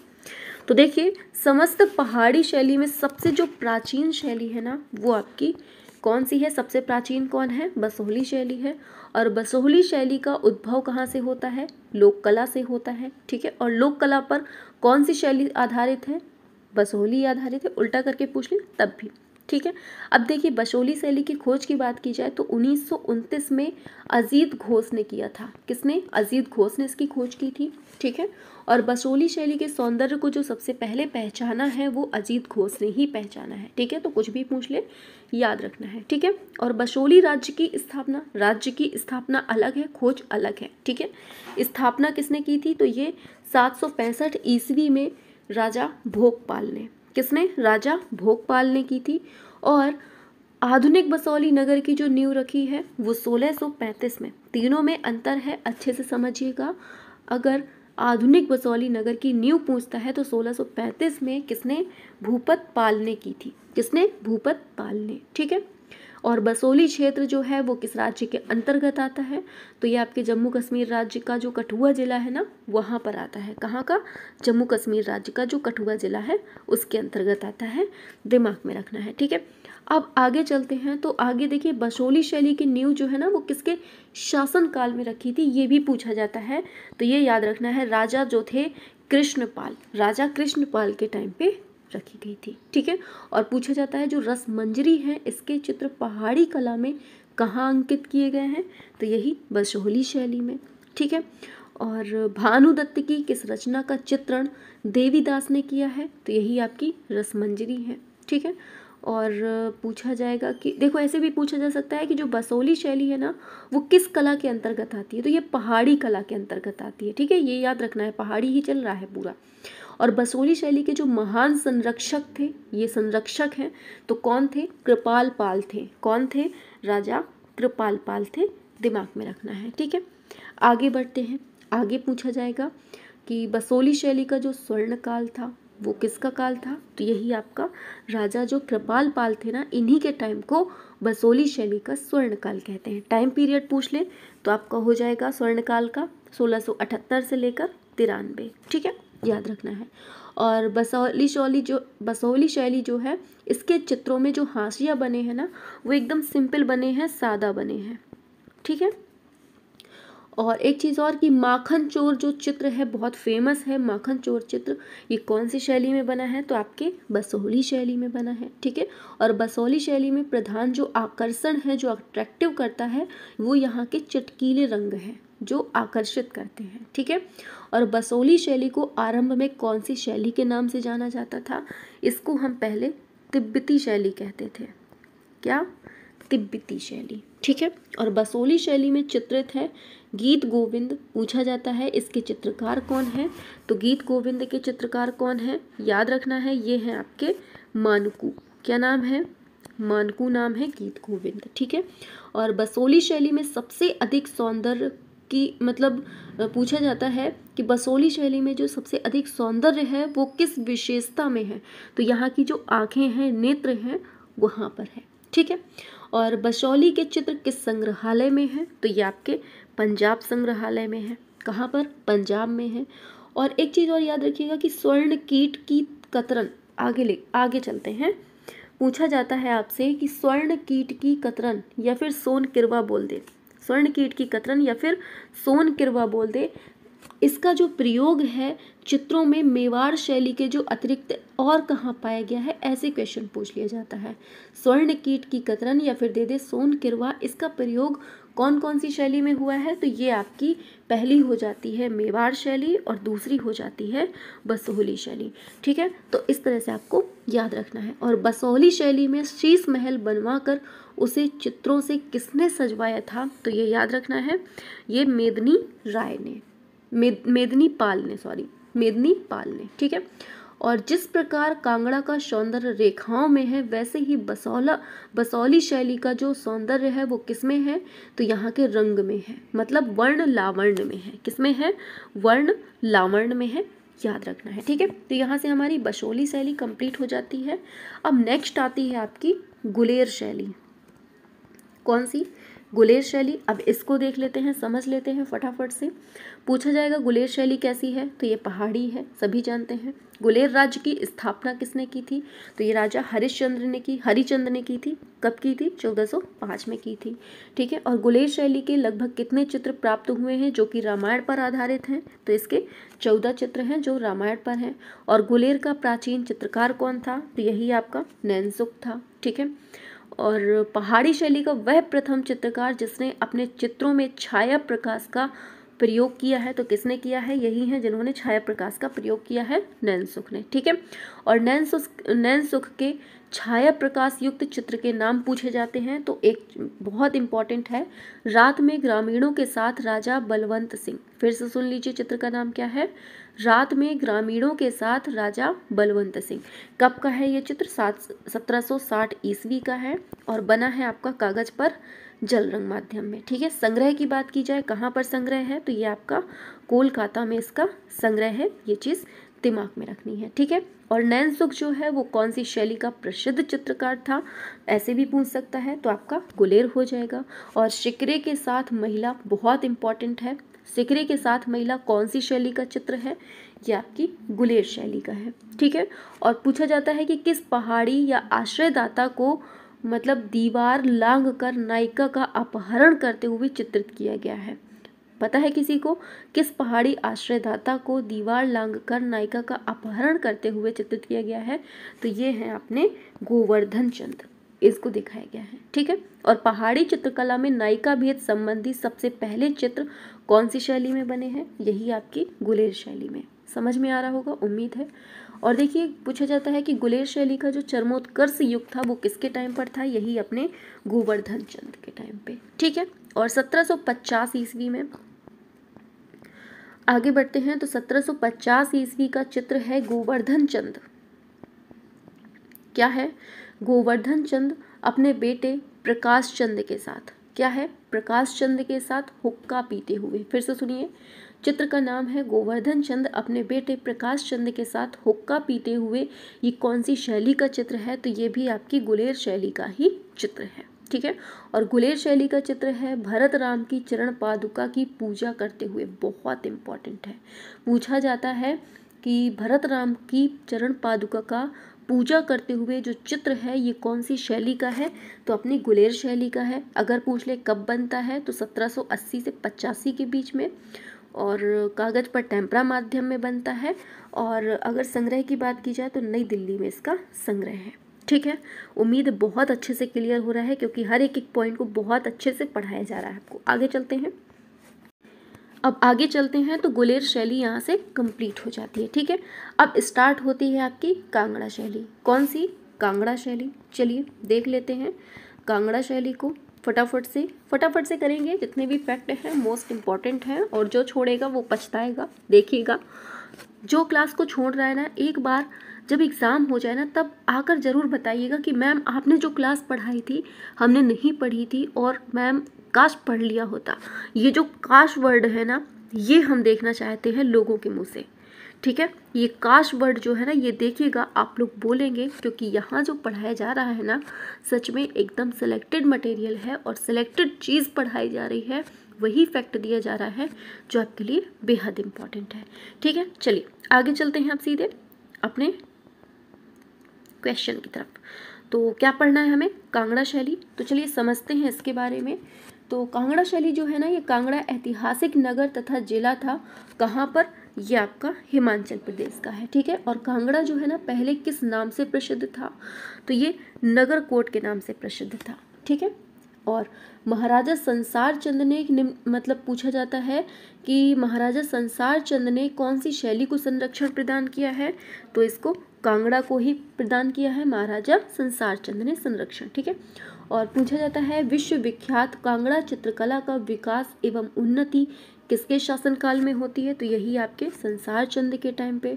और कांगड़ा चित्रकला के महान संरक्षक कौन थे? ऐसे पूछ ले तो भी संसार चंद होगा, ठीक है? और कांगड़ा चित्रकला का दूसरा नाम क्या है? यही आपका पहाड़ी चित्रकला है, ऐसे भी दे सकता है, ठीक है? और कांगड़ा चित्रकला सॉरी कांगड़ा चित्रकला पर जो है वो कौन सी शैली का प्रभाव पड़ा है? तो याद रखना है इस पर मुगल शैली का प्रभाव पड़ा है। ठीक है? उम्मीद बहुत अच्छे से समझ में आ रहा है। ठीक है? आगे बढ़ते हैं। आगे बढ़ते हैं तो पूछा जाएगा कांगड़ा शैली के चित्रों का प्रमुख विषय चित, मतलब चित्रण का विषय क्या है? तो याद रखना है नयिका भेद चित्रण है। ठीक है? और कांगड़ा शैली के चित्रकारों का प्रिय विषय क्या था? राधा कृष्ण था। ठीक? और आगे पहाड़ी शैली की सर्वश्रेष्ठ शैली कौन सी है? यही आपकी कांगड़ा है। और पहाड़ी शैली का प्रधान केंद्र कौन सा है? कांगड़ा है। कांगड़ा शैली का प्रमुख चित्रकार कौन है? तो ऐसे कुशन लाल भी आ जाते हैं। तो ठीक है, कुशन लाल का नाम आता है। और परखू कौन सी शैली का निपुण चित्रकार है? परखू भी यहीं का है। ठीक है? और केशव दास के द्वारा लिखी गई है जो कवि प्रिया इसमें मतलब जो प्रेम लीला दिखाई गई है, वो कौन सी शैली से संबंधित है? आपकी कांगड़ा शैली से ही संबंधित है। समझ गए? आगे बढ़ते हैं। तो Pahari school, Kangra school, Rajput school, इन सब का जो संबंध है तो कहाँ से है आपका? चित्रकारी से है। ये चीज़ दिमाग में रखनी है। और कांगड़ा शैली का अगर उत्कर्ष काल पूछ लिया जाए तो कब है? ये आपका सत्रह सौ छियासी से अट्ठारह के बीच में है। समझ गए? आगे चलते हैं। तो कांगड़ा चित्रकला का विषय क्या नहीं है? देखिए, एक चीज़ याद रखिएगा, उसमें चार ऑप्शन दिए होते हैं और पूछा जाता है आपसे कि कांगड़ा चित्रकला का विषय क्या नहीं है। तो उसमें से क्या होता है ना कि पंचतंत्र भी दिया होता है, ठीक है? पंचतंत्र। तो इसको आपको पहले से याद रखना है कि पंचतंत्र ही देखकर आपको कंफ्यूज करता है। तो ये याद रखना है, पंचतंत्र जो है ना, ये इसका विषय नहीं है, ठीक है? आगे बढ़ते हैं। आगे पूछा जाएगा कि चित्रकला की किस शैली को रंगों का काव्य कहते हैं? तो यही है आपकी कांगड़ा को कहते हैं। ठीक है, आगे बढ़ते हैं तो किस विदेशी कलाविद ने कांगड़ा शैली की सर्वाधिक प्रशंसा की है? जेसी फ्रेंच ने की है। ठीक है, और पहाड़ी कलाकारों में कौन सा परिवार सबसे प्रसिद्ध रहा है? पंडित सेऊ का ठीक है? और जयदेव द्वारा रचित है गीत गोविंद। इससे मुख्यतः कौन सी शैली के चित्रकार प्रेरित थे? ये कांगड़ा हो जाएगा। और पहाड़ी पहाड़ी कला की सर्वश्रेष्ठ चित्रावली कौन सी है? तो कांगड़ा की गीत गोविंद चित्रावली सबसे अच्छी है, ठीक है? और दरबारी जीवन के चित्र मुगल शैली के बाद कौन सी शैली में मिले हैं? यही आपकी पहाड़ी में, कांगड़ा में मिले हैं, ठीक है? और रंगीन रेखा चित्रों की कला है। ये किस शैली को कहा जाता है? मतलब रंगीन रेखा चित्रों की कला कौन सी शैली को कहते हैं? कांगड़ा को ही कहते हैं। और कांगड़ा का सबसे अधिक कला प्रेमी राजा था संसार चंद्र। ठीक है? संसार चंद्र पूछ लेगा कि कितनी आयु में बैठा था गद्दी पर? तो ये दस वर्ष की आयु में बैठा था। पूछ लिया जाता है। कभी कभी लिख लीजिए, दस वर्ष की आयु में बैठा था और कब बैठा था? सत्रह सौ पचहत्तर में, ठीक है? और संसार चंद किसके उपासक थे? तो ये कृष्ण भगवान के उपासक थे, ठीक है? और संसार चंद के कला प्रेम की चर्चा किस अंग्रेज़ यात्री ने की है? ये की है मूर क्राफ्ट ने, ठीक है? और कांगड़ा लघु चित्रों के विषय क्या क्या हैं? तो कृष्ण लीला है, नायक नायिका है, भागवत पुराण हमीर हट नल दमयंती, ठीक है? और कांगड़ा के अन्य विषयों के साथ साथ मुख्य विषय क्या मिलता है? यहाँ पर प्रेम मिलता है। और एक कोटेशन पूछ लिया जाता है कि चीनी चित्रकला में दृश्य चित्रण ने जो उपलब्धि प्राप्त की है, वही कांगड़ा की कलम में प्रेम के अंकन में हुई है। किसने कहा है ये कोटेशन डॉक्टर आनंद कुमार स्वामी ने कहा है। फिर से कोटेशन सुन लीजिए। चीनी चित्रकला में दृश्य चित्रण ने जो उपलब्धि प्राप्त की है, वही कांगड़ा की कलम में प्रेम के अंकन में हुई है। ठीक है? आगे बढ़ते हैं। तो कांगड़ा शैली के प्रमुख प्रमुख जो यहाँ के कलाकार हैं, उनको देख लीजिए। पहले हो गए आपके कुशन लाल, दूसरे हो गए परखू, मानकू, वसिया, फत्तू। ये सब कहाँ के हैं आपके? ये सब कांगड़ा शैली के चित्रकार हैं, ठीक है? कलाकार हैं। और संसार चंद के दरबार में अभिनंदन क्या कहकर मतलब किया जाता था? तो यहाँ पर जो अभिनंदन होता था, लाहौर परापत। लाहौर परापत करके यहाँ पर अभिनंदन होता था और संसार चंद अपने गुणों के कारण उस समय के क्या माने जाते थे? ये हातिम माने जाते थे अपने समय के, ठीक है? और कांगड़ा शैली जो विकसित हुई है मतलब कांगड़ा शैली किसका विकसित रूप है? यही आपकी गुलेर शैली का ही विकसित रूप कांगड़ा शैली है। पीछे हमने पढ़ा ना भी और कांगड़ा के चित्रकारों ने नायिका भेद के चित्रों में कितने प्रकार की नायिकाओं का अंकन किया है? कांगड़ा की बात हो रही है तो क्या होगा? स्वकीय परकीय सामान्य। स्वकीय मतलब स्वयं की परकीय मतलब दूसरे की, सामान्य मतलब किसी की भी, ठीक है? और कांगड़ा शैली का चित्र है नंद यशोदा और कृष्ण के साथ गोकुलवासी वृंदावन जाते हुए। ये जो है ना, ये सत्रह सौ पचासी से नब्बे के बीच का चित्र है, ठीक है? और कागज़ पर टेम्परा माध्यम में बनता है। संग्रह की बात की जाए तो राष्ट्रीय संग्रहालय नई दिल्ली में है। इसका अंकन कहाँ पर होता है? तो याद रखना है, ये आपकी कांगड़ा ही शैली में होता है। ठीक है? और कांगड़ा की लोकप्रिय लघु पेंटिंग्स है, मूर्तियाँ हैं, मिट्टी हैं, इनके जो बर्तन हैं, ये सब कहाँ सुरक्षित हैं? लघु पेंटिंग्स मूर्तियाँ, मिट्टी के बर्तन, ये सब कहाँ रखे गए हैं? तो ये आपकी कांगड़ा आर्ट गैलरी में रखे गए हैं। और मशरूर मंदिर पूछ लेता है कहाँ है? मतलब कि कहाँ स्थित है? तो ये कांगड़ा में स्थित है। और मसरूर रॉककट मंदिर को क्या कहा जाता है? इसको हम हिमालयी प्रमा सॉरी हिमालयी पिरामिड कहते हैं। ठीक है तो यहाँ से आपकी जो कांगड़ा शैली थी, वो भी कंप्लीट हो जाती है। आगे बढ़ते हैं, आती है नेक्स्ट गढ़वाल शैली। कौन सी? नेक्स्ट आती है गढ़वाल।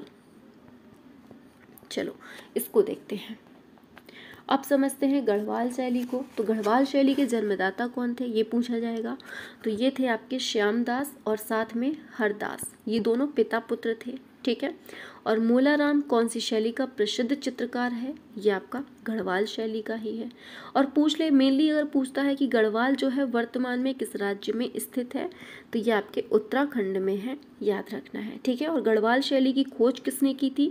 श्री मुकुंदी लाल बैरिस्टर ने की थी और कब की थी? उन्नीस आठ में की थी, याद रखना है, ठीक है? और कौन सा मुगल शहजादा गढ़वाल में शरण लेने पहुँचा था?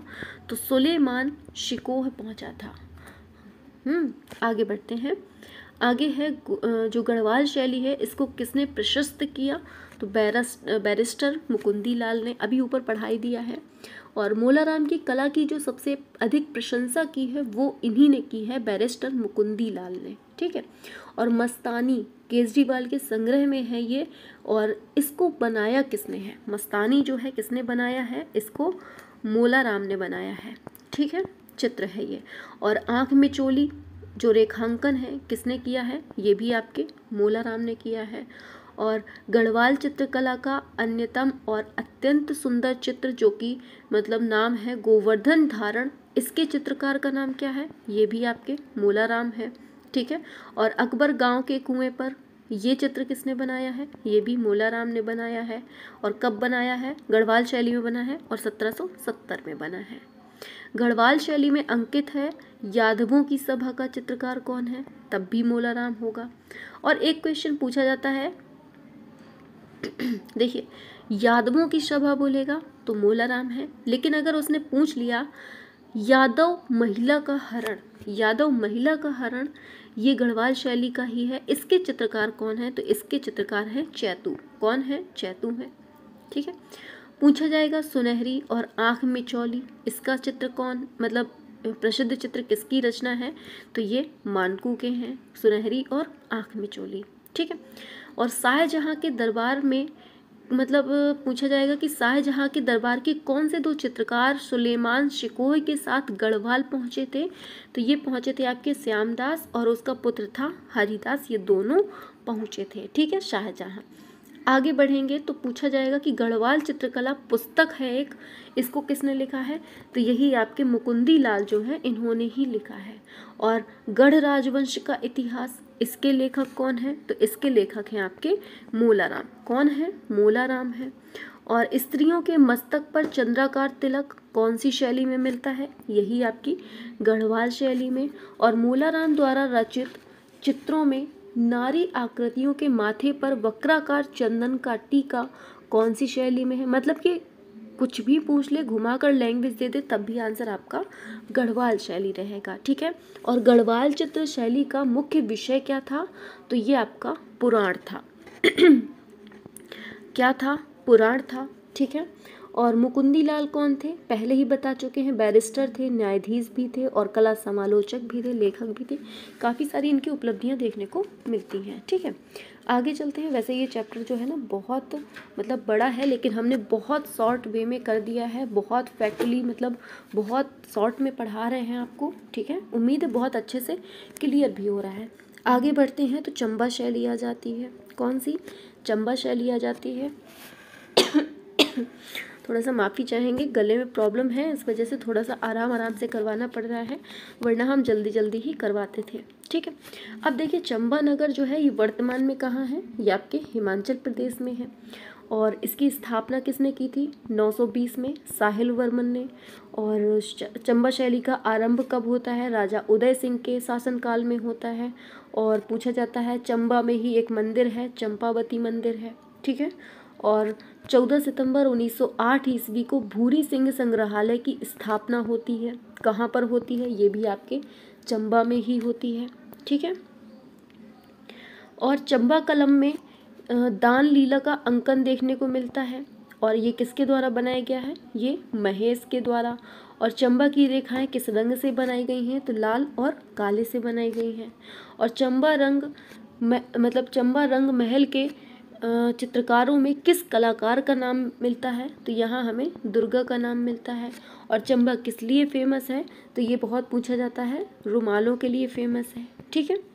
और रुमालों का काम चंबा में कब से स्टार्ट होता है? कब से कब तक?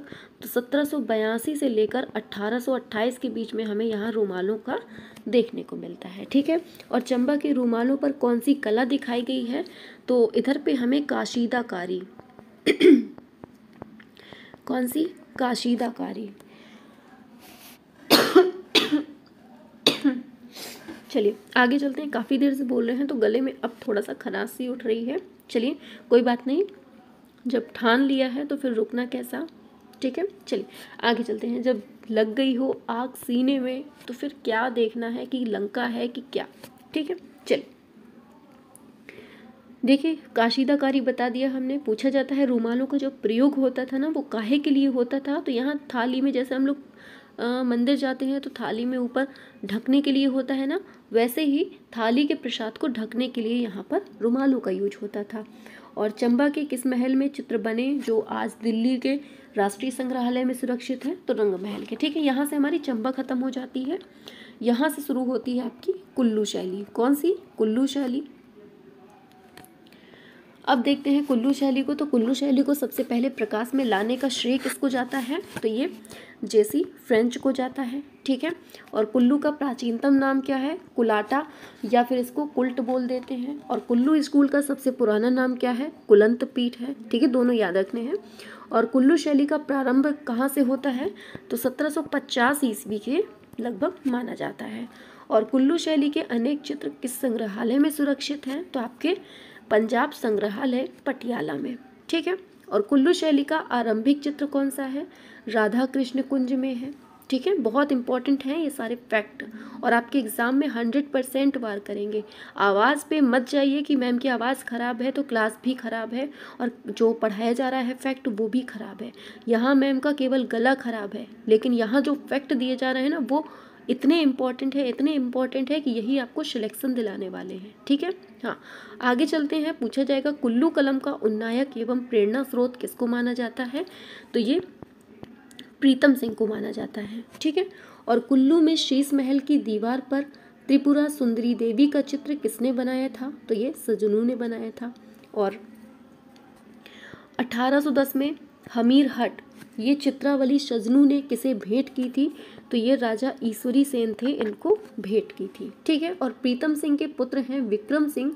इनके समय किस चितरे ने मुख्य रूप से चित्रों का निर्माण किया है? तो भगवान। ठीक है, भगवान ने।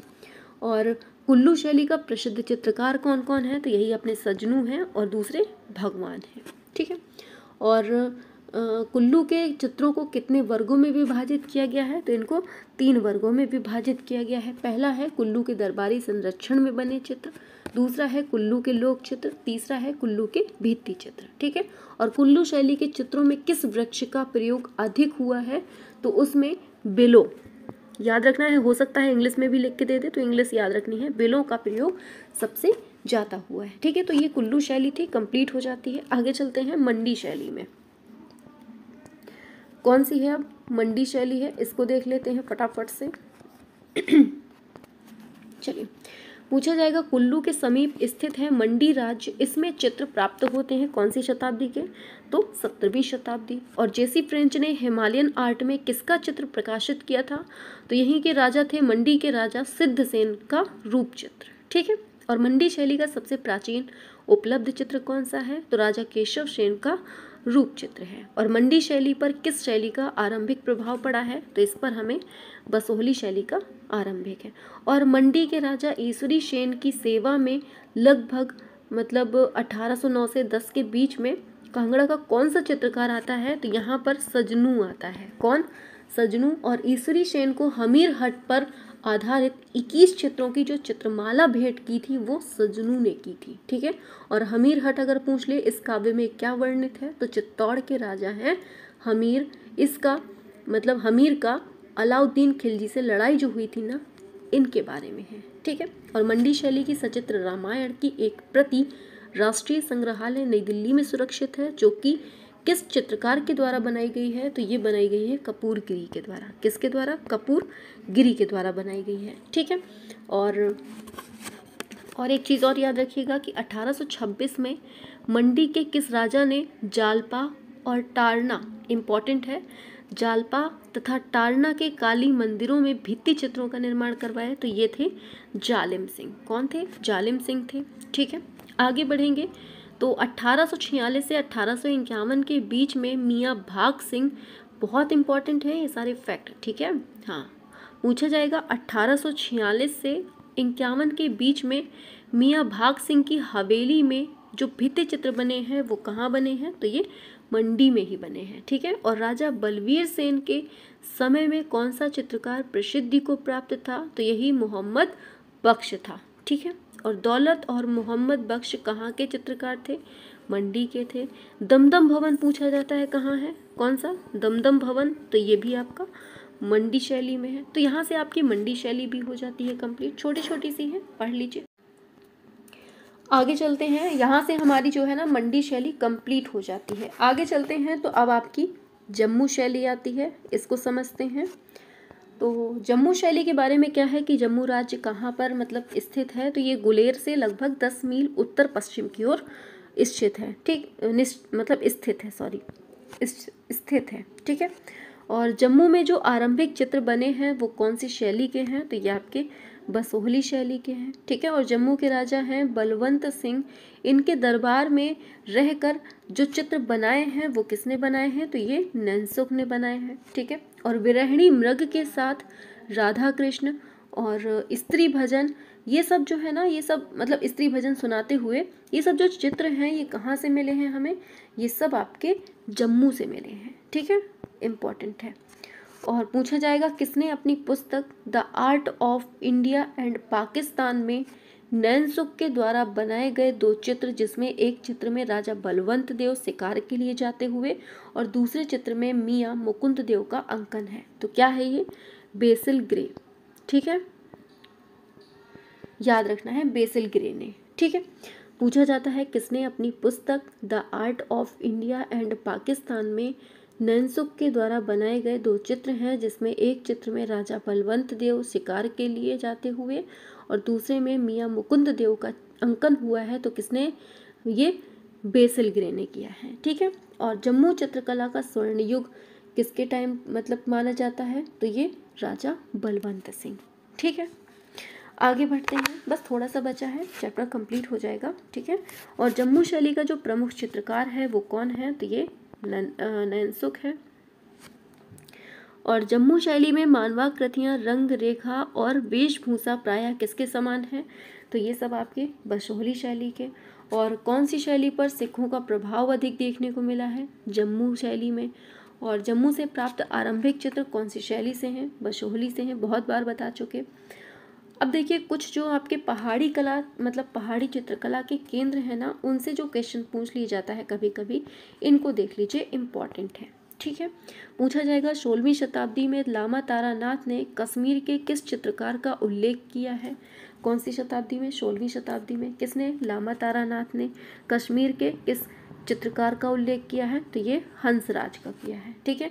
ऐसे ही कश्मीर शैली के जन्म और विकास में योगदान किस कलाकार ने दिया है? तो यही है आपके हंसराज। ठीक है? और पूंछ कलम के मतलब पूंछ कलम के आरंभिक चित्र कहाँ मिलते हैं? लाहौर में जो स्थित सेंट्रल म्यूज़ियम है, वहाँ मिलते हैं। और पुंछ के जो मतलब चित्रकला है, वो किस पहाड़ी से प्रभावित हैं? तो ये आपकी गुलेर शैली से प्रभावित हैं। और कहाँ की पश्मीना शालें विश्व प्रसिद्ध हैं? तो ये आपकी कश्मीर की हैं। ठीक है? अब देखिए, यहाँ तक तो आपको बहुत अच्छे से समझ में आ गया होगा। अब जो आपके मेन फैक्ट है ना, जहाँ से वन लाइनर फॉर्म में इतने अच्छे से क्वेश्चन पूछा जाता है और आप लोग घूम जाते हैं। चलिए, एक बार फटाफट से देख लेते हैं। देखिए, पूछा जाता है पुस्तकों के बारे में। जो यहाँ की पुस्तकें हैं ना, बहुत कंफ्यूज करती हैं। तो हम फटाफट से बोल देते क्लास को एकदम दनादन तरीके से स्टार्ट करते हैं। ठीक है? क्या है? शाहजहाँ शाहजहाँ है। ठीक है? तो इसके बारे में समझने से पहले एक चीज़ याद रखिएगा कि इनका जो पूरा नाम है, जो नाम पूरा देखने को मिलता है, इनका पूरा नाम है शिहाबुद्दीन मोहम्मद शाहजहाँ। क्या नाम है? शिहाबुद्दीन मोहम्मद शाहजहाँ। इसका जन्म होता है पंद्रह में और कहाँ होता है? लाहौर में राजपूत राजकुमारी जो उदय सिंह की पुत्री थी, जगत गोसाई इनके पेट से होता है। ठीक है? और शाहजहाँ का मूल नाम अगर पूछे तो क्या नाम था इनका? खुर्रम नाम था, ठीक है? और शाहजहां का जो विवाह हुआ था ना, ये आसफ खां की पुत्री थी अर्जुमंद बानो बेगम। किससे? अर्जुमंद बानो बेगम से होता है। और शान शौकत के चित्र किसके समय में बनाए गए हैं? तो यही शाहजहां के टाइम पे, ठीक है? पूछा जाएगा स्याह कलम के लिए सॉरी स्याह कलम के चित्र शाहजहां काल में बनाए गए, यह कौन सी प्रवधि थी? तो याद रखना है, काली स्याही से निर्मित जो चित्र थे, वो, ठीक है? और शाहजहां काल की चित्रकला में चित्रित लघु चित्रों में जो अधिक चित्रित हैं, वो क्या हैं? रंग महल देखने को मिले हैं, ठीक है? और किस शासक के काल में चौड़े हाशिए बनने लगे थे? तो किसके टाइम पे? यही आपके शाहजहां के। और शाहजहां की चित्र, जो इनकी चित्रशाला थी, शाहजहां की चित्रशाला थी, इसका विशिष्ट हिंदू चित्रकार पूछे तो कौन था ये? होनहार था, ठीक है? और गोवर्धन किस मुगल शासक का चित्रकार था? तो यही शाहजहां का। और सर टामस रो ने शाहजहां को क्या भेंट में दिया था? तो घड़ी दी थी, ठीक है? और शाहजहां के समय मुगल चित्रकला का केंद्र कहाँ था? तो ये आपका दिल्ली था, ठीक है? और पातशाहनामा पूछा जाता है कि पातशाह पातशाहनामा के रचयिता कौन है? तो ये अब्दुल हमीद लाहौरी हैं। कौन है? अब्दुल हमीद लाहौरी हैं। और अगर इसका टाइम पीरियड पूछ ले, इसका पूछा जाता है कि पातशाहनामा की रचना कब होती है तो याद रखना है सोलह से संतावन के बीच में होती है, ठीक है? और शाहजहाँ के समय में चित्रित जो पातशाहनामा है, इसको सुरक्षित कहाँ किया गया है? तो विंडसर कैस sorry Windsor Castle museum London में, ठीक है? पूछा जाएगा किस बूढ़े मुगल शासक को ग्लोब पर खड़ा दिखाया गया है? तो यही है भाई साहब, कौन? शाहजहां, ठीक है? और किस मुगल शासक ने सर्वाधिक स्थापत्य कला पर ध्यान दिया है? शाहजहां ने ही। और स्थापत्य कला का स्वर्ण युग किसका काल है? शाहजहां का ही काल है। और शाहजहां काल के प्रसिद्ध चित्रकार कौन कौन है? सुन लीजिए। मनोहर हैं, नादिर हैं, विचित्र हैं, गोवर्धन, बालचंद। कौन कौन मनोहर, नादिर, विचित्र और गोवर्धन बालचंद। ठीक है? तो यहाँ तक क्लियर हुआ। पूछा जाता है, शाहजहां कालीन चित्र कबीर एवं रैदास जो है, इसको किस माध्यम में बनाया है? तो टेम्परा माध्यम में। और संग्रहित कहाँ है? राष्ट्रीय संग्रहालय नई दिल्ली में सुरक्षित है। और बनाया किसने है? ये भी याद रखना है। तो उस्ताद फ़कीरुल्ला खान ने कबीर एवं रैदास चित्र को बनाया है। ठीक है? और शाहजहां के काल का चित्र है ये। पूछा जाता है शाहजहां का वह पुत्र कौन है जो चित्रकला का परम प्रेमी सिद्ध हुआ था? तो ये कौन था? ये दारा शिकोह था, ठीक है? और चालीस चित्रों का मुरक्का, या फिर कह दीजिए चित्राधार जिसे हम एल्बम बोलते हैं, जो अब इंडिया ऑफ़िस लाइब्रेरी लंदन में सुरक्षित है, ये किसका बनाया हुआ है? तो यही दारा शिकोह का बनाया हुआ है, ठीक है? याद रखना है। और पूछा जाता है कि राष्ट्रीय संग्रहालय नई दिल्ली में सुरक्षित महल के झरोखों के नटों के करतब देखते हुए मुगल बादशाह शाहजहां के ज्येष्ठ पुत्र दारा शिको है। ये किस काल का है? ऐसे पूछ लेता है तो ये शाहजहां काल का है। हमने क्या बोला है? क्या है? महल के झरोखे से, फिर से सुन लीजिए, महल के झरोखे से नटों के करतब देखते हुए मुगल बादशाह शहनशाह के, सॉरी, फिर से बोल देते हैं, ठीक है? ये लाइन थोड़ा सा डिस्टर्ब हो जाती है। लंबा लंबा है ना ये चित्र का नाम जो है ना ये लंबा है। पूछा जाता है कि महल के झरोखे से नटों के करतब देखते हुए मुगल बादशाह शाहजहां के ज्येष्ठ पुत्र दारा शिको है। ये जो चित्र है, ये सुरक्षित कहाँ है? राष्ट्रीय संग्रहालय नई दिल्ली में और किसके काल का है? तो शाहजहां के काल का है। तो ये समझ में आ गया होगा। ठीक है, ये थोड़ा सा लंबा है तो बोलने में दिक्कत हुई थी थोड़ी। ठीक है? पूछा जाएगा, दारा शिकोह सूफी संत के साथ, ये जो है, ये भी शाहजहां के काल का है, ये चित्र कहाँ सुरक्षित है? तो ये भी राष्ट्रीय संग्रहालय नई दिल्ली में है। और पूछा जाता है कि किसने मोहम्मद खान नामक चतेरे से एक मुरक्का या फिर एल्बम बनवाकर अपनी पत्नी नादिरा बेगम को भेंट किया था? तो किसने किया था? तो यही थे आपके दारा शिको ठीक है? और पूछा जाता है कि 1740 से 50 ईस्वी के टाइम पर टेम्परा एक सेकेंड, आगे लिख देते हैं थोड़ा सा हल्का सा क्या हमने बोला? 1740 से 50 ईस्वी के टाइम पर टेम्परा माध्यम में, याद रखना है, टेम्परा माध्यम से चित्रित है और ये सुरक्षित कहाँ है? नई दिल्ली में सुरक्षित है।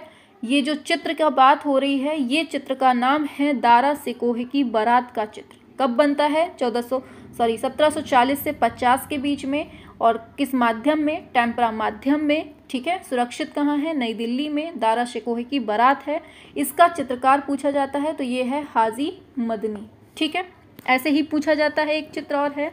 फुलझड़ी से खेलती हुई युवती, ये भी शाहजहाँ के ही काल का है।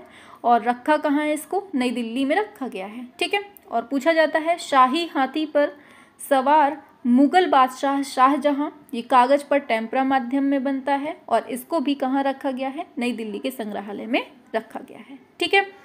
एक चीज़ और, रनिवास में महिलाएँ संगीत एवं मदिरा का आनंद लेते हुए, ये चित्र किसका काल का है? तो ये भी शाहजहां के ही काल का है और इसको भी कहाँ रखा गया है?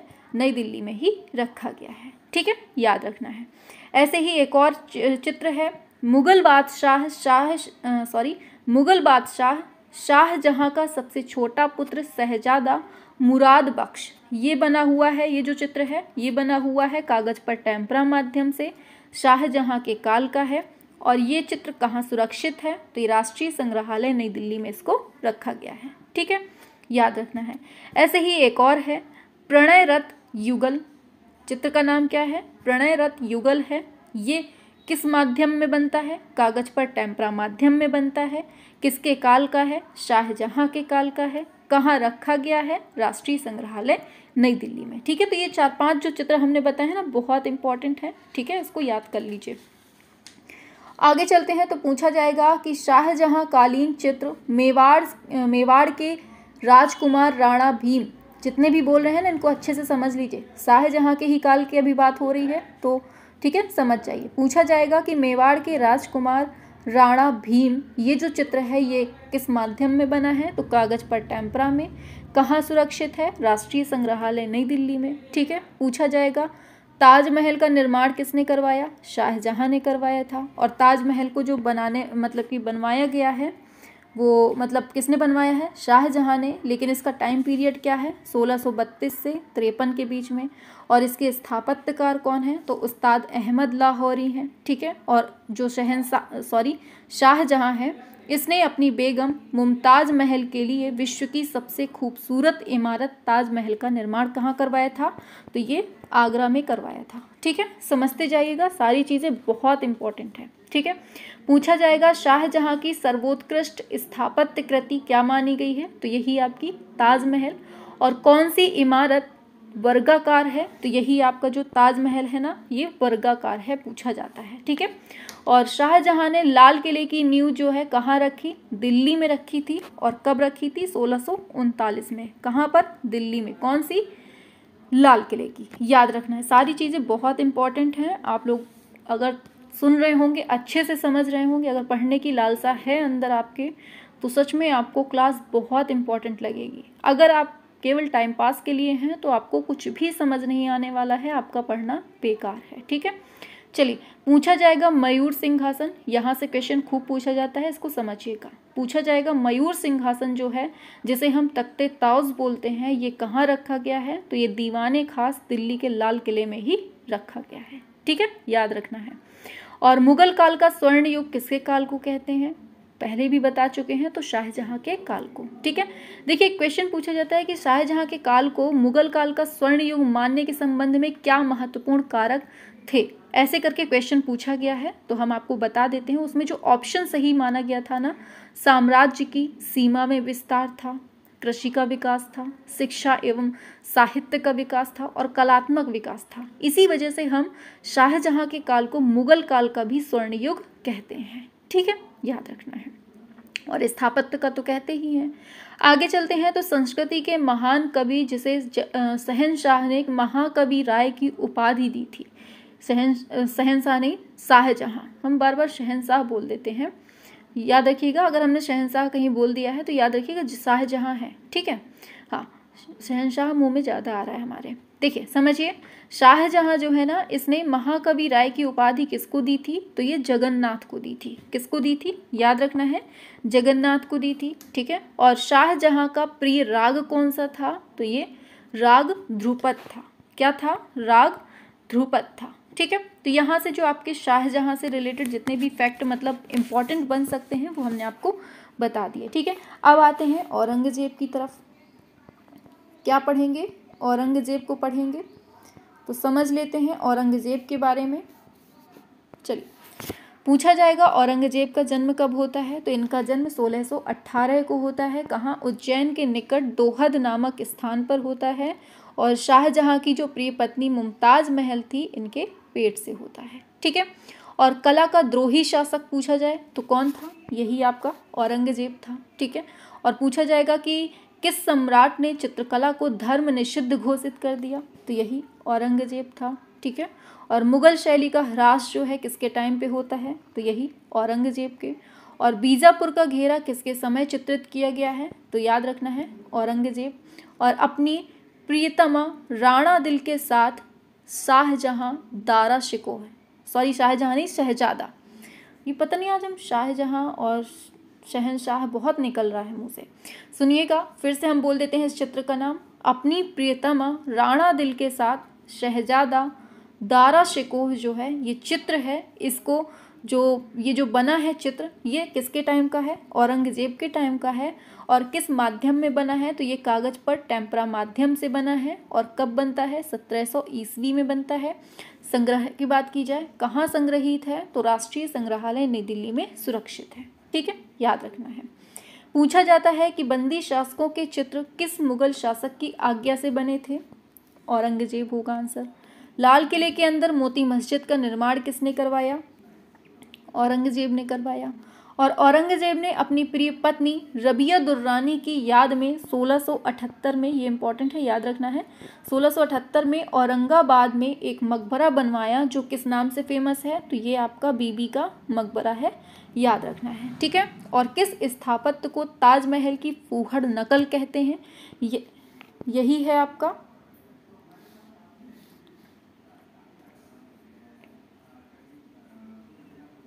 चलिए, चला गया है वो। खैर, यहीं से बताना शुरू कर देते हैं, ठीक है? हाँ तो हमने क्या पूछा आपसे कि ताजमहल की जो फूहड़ नकल कही गई है, वो कौन सा है मकबरा? बीबी का मकबरा है। और दक्षिण का जो ताजमहल है, वो क्या है? वो भी आपका बीबी का मकबरा है, ठीक है? तो यहाँ से आपके औरंगज़ेब भी कंप्लीट हो जाते हैं। अब थोड़ा सा कुछ जो प्रसिद्ध चित्र हैं, उनको देख लेते हैं, ठीक है? चलिए। चलिए तो देखते हैं मुगल शैली के कुछ प्रसिद्ध चित्र ठीक है? पहला चित्र है आपका सलीम का जन्म आनंदोत्सव। तो ये किसमें आ, किसमें वर्णित है? तो ये आपका अकबरनामा में है। चित्रकार पूछ ले तो शंकर केशव धर्मदास ये सभी हैं ठीक है? याद रखना है।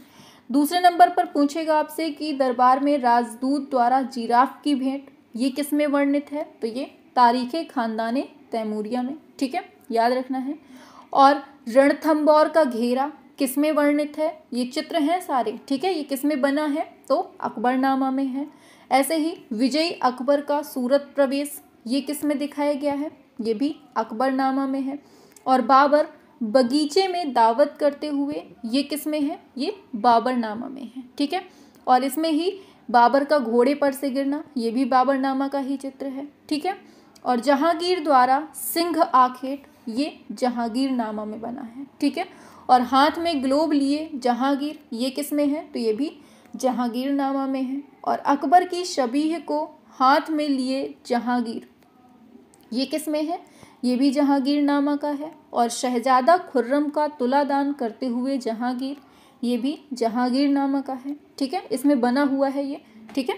और बाज पक्षी ये जहांगीर युग का चित्रकार है मंसूर, ठीक है? याद रखना है। और जहाँ, जहांगीर एक मुल्ला को उपाख्यान देते हुए, ये भी जहांगीर युग का चित्र है। और अगर चित्रकार पूछ ले तो कौन है? विचित्र है, ठीक है? और फिर हमने बताया था तख्ते ताउस पर शाहजहाँ, ये किसमें बना हुआ है? तो ये पातशाहनामा में बना हुआ चित्र है। कंधार का घेरा, ये किसमें बना है? शाहजहां नामा में। और बीजापुर का घेरा, ये किसमें है? औरंगज़ेब युग का है ये। और युवा शाहजहां तो ये शाहजहां के टाइम का है, चित्रकार हैं अबुल हसन, ठीक है?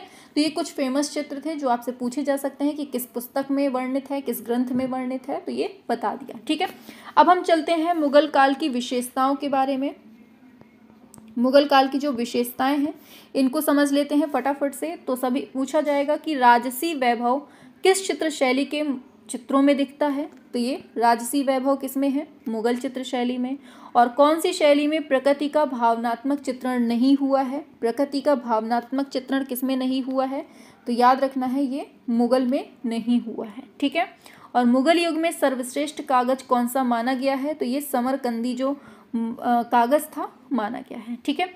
पूछा जाता है कि यहाँ पर कितने प्रकार के कागज़ प्रचलित थे मतलब मुगल युग में कितने प्रकार के कागज़ थे, प्रचलित थे तो आठ प्रकार के। पहला है दौलताबादी, दौलताबाद, जो कि प्राचीन देवगिरी में बनने वाला कागज़ था, ठीक है? दूसरा है खटाई, ये उत्तरी चीन के खटा नगर में बनने वाला कागज़ था, ठीक है? पूछा जाता है इंपॉर्टेंट है कि ये पूछ लेगा कि जैसे पूछ लेगा कि हरीरी कागज़ कौन से काल से संबंधित है तो मुगल काल से। नुखैयर कहाँ से है? तो मुगल काल से।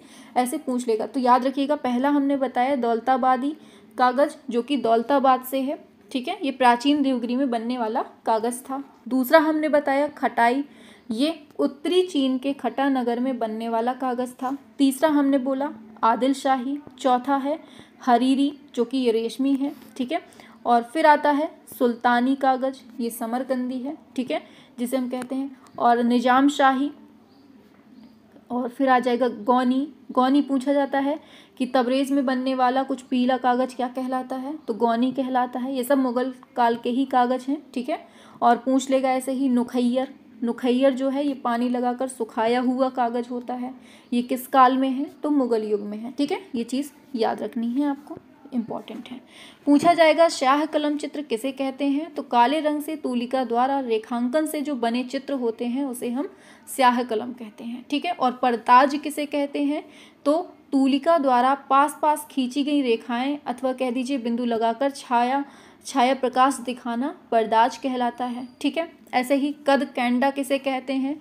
तो आकृति की ठीक ऊंचाई को कद और अंगों के उचित अनुपात को कैंडा कहते हैं, ठीक है? या फिर काठी बोल दीजिए।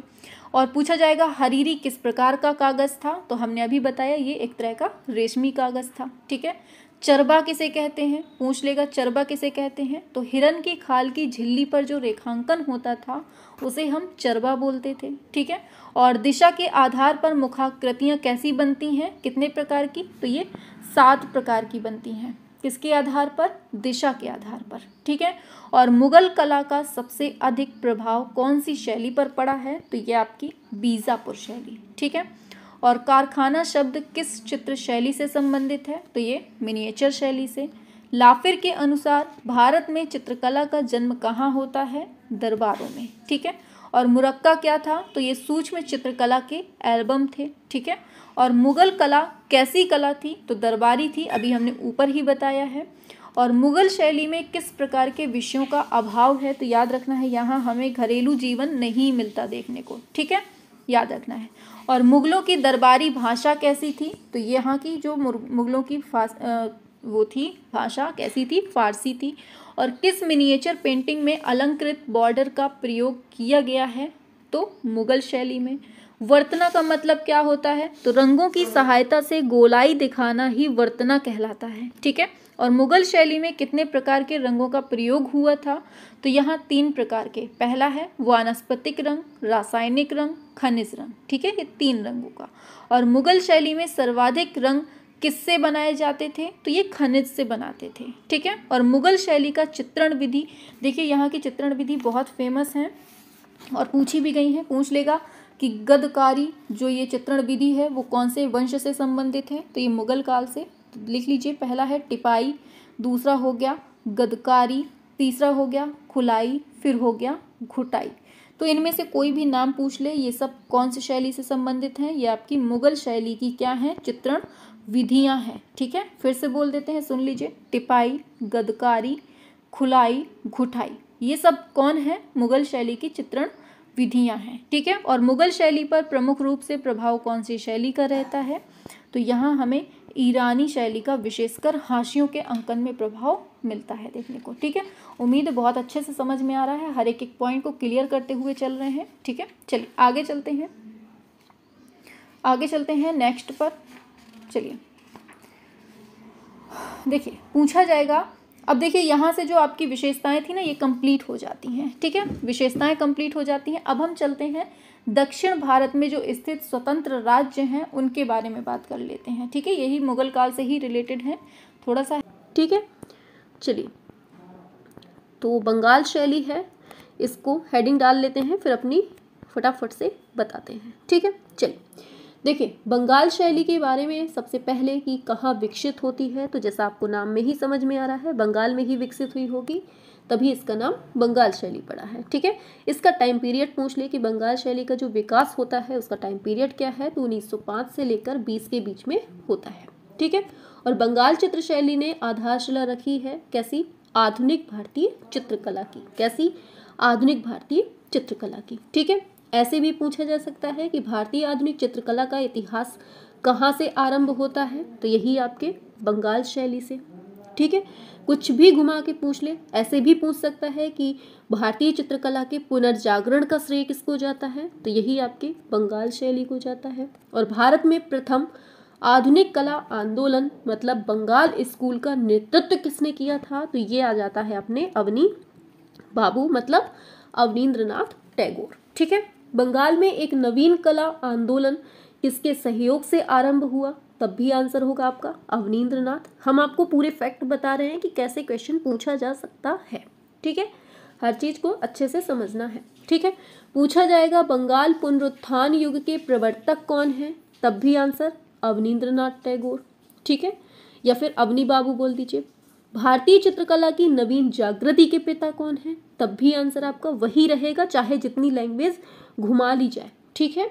पुनर्जागरण आंदोलन के कर्णधार कौन बने? तब भी आंसर एक ही रहेगा अवनीन्द्रनाथ ठीक है? ऐसे भी पूछा जा सकता है उल्टा करके कि अवनीन्द्रनाथ ने जिस छोटे से स्कूल की स्थापना की थी, वो कौन था? कौन था? बंगाल शैली थी या फिर बंगाल स्कूल था? और बंगाल कला स्कूल के अग्रणी कौन है? तब भी आंसर अवनीन्द्रनाथ है। क्वेश्चन समझ लीजिएगा कैसे पूछा जा रहा है, ठीक है? अब देखिए, समझा जाए, पूछा जाएगा कि बंगाल कला शैली जो है, वो कौन सी टेक्निक के लिए जानी जाती है? तो ये आपकी वॉश टेक्निक के लिए जानी जाती है। कौन सी टेक्निक वॉश टेक्निक के लिए। और बंगाल शैली के चित्रकारों ने कौन सी टेक्निक का प्रयोग किया? तब भी आंसर आपका वॉश टेक्निक रहेगा। भारत में वॉश चित्रण पद्धति कहाँ से आई है? ये भी याद रखना है। ये आपके जापान से आई है। कहाँ से आई है ये? जापान से आई है। ठीक है? आगे बढ़ेंगे तो पूछा जाएगा, वॉश तकनीक की रेखाएँ भारतीय कलाओं से प्रेरित हैं, लेकिन जो टेक्निक है कहाँ की है? तो या तो जापान दे देगा, या तो चीन दे देगा। मतलब चीनी, जापानी कुछ भी दे सकता है तो आपको याद रखना या तो दोनों ही दे सकता है। ठीक है? पूछा जाएगा, बंगाल शैली के जनक कौन थे? अभी जस्ट पढ़ाया है, कौन है? अपने अवनी बाबू हैं। ठीक है? और वॉश चित्रण पद्धति के जन्मदाता कौन है? ये भी आपके अवनीन्द्रनाथ टैगोर ही हैं। ठीक है? फिर से एक क्वेश्चन पूछते हैं थोड़ा सा लॉजिक लगाइएगा। पूछा जाएगा कि पुनर्जागृति आंदोलन का मतलब क्या है?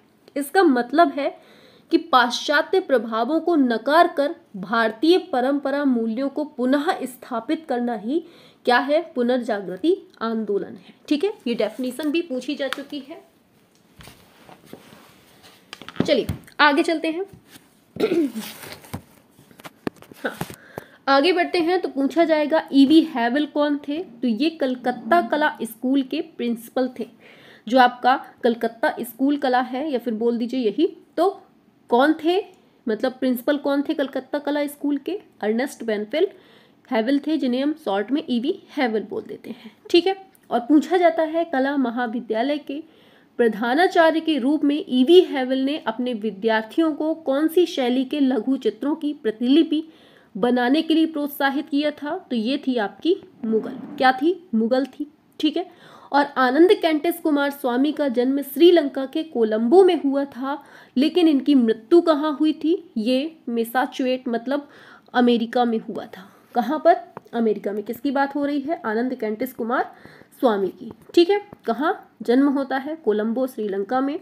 और अमेरिका में मैसाचुएट में इनकी मृत्यु होती है। ठीक है? एक क्वेश्चन पूछा जाता है। अभी केवल बंगाल शैली की बात हो रही है, फिर हम पर्सनल भी देखेंगे इनको। ठीक है? अभी केवल मोटी मोटी चीज़ें समझ लीजिए कि हमें कैसे क्या पढ़ना है आगे। पूछा जाएगा, कलाकार, लेखक और Royal College of Art London से संबंध रखने वाले विलियम रोथेंस्टीन किसके मित्र थे? तो ये अपने अवनी बाबू के मित्र थे। कौन? विलियम रोथेंस्टीन ठीक है? और Indian Society of Oriental Art की स्थापना पूछ ले कब होती है? क्या Indian Society of Oriental Art की स्थापना कब होती है? 1907 में होती है, ठीक है? और इसके प्रथम अध्यक्ष या फिर कह दीजिए सभा, सभापति कौन थे? तो ये लॉर्ड किचनर थे। कौन थे? लॉर्ड किचनर थे। Indian Society of Oriental Art में कितने सदस्य थे? तो यहाँ आपके टोटल पैंतीस सदस्य थे, जिसमें से तीस अंग्रेज़ थे और पाँच जो थे वो अपने भारतीय थे। ठीक है? Indian Society of Oriental Art की प्रथम प्रदर्शनी कब और कहाँ आयोजित हुई थी? तो इसकी पहली जो प्रदर्शनी थी ना 29 जनवरी 1908 में लगती है। ठीक है? 29 जनवरी 1908 को Government College of Art Kolkata के प्रांगण में आयोजित हुई थी। ठीक है? और पूछा जाएगा कि जो आपके आनंद कैंटिस कुमार स्वामी हैं, इनकी कौन सी पुस्तक बहुत फ़ेमस है? तो इनकी पुस्तक का नाम है कला एवं स्वदेशी। क्या नाम है? कला एवं स्वदेशी, जो 1913 में ये प्रकाशित की जाती है।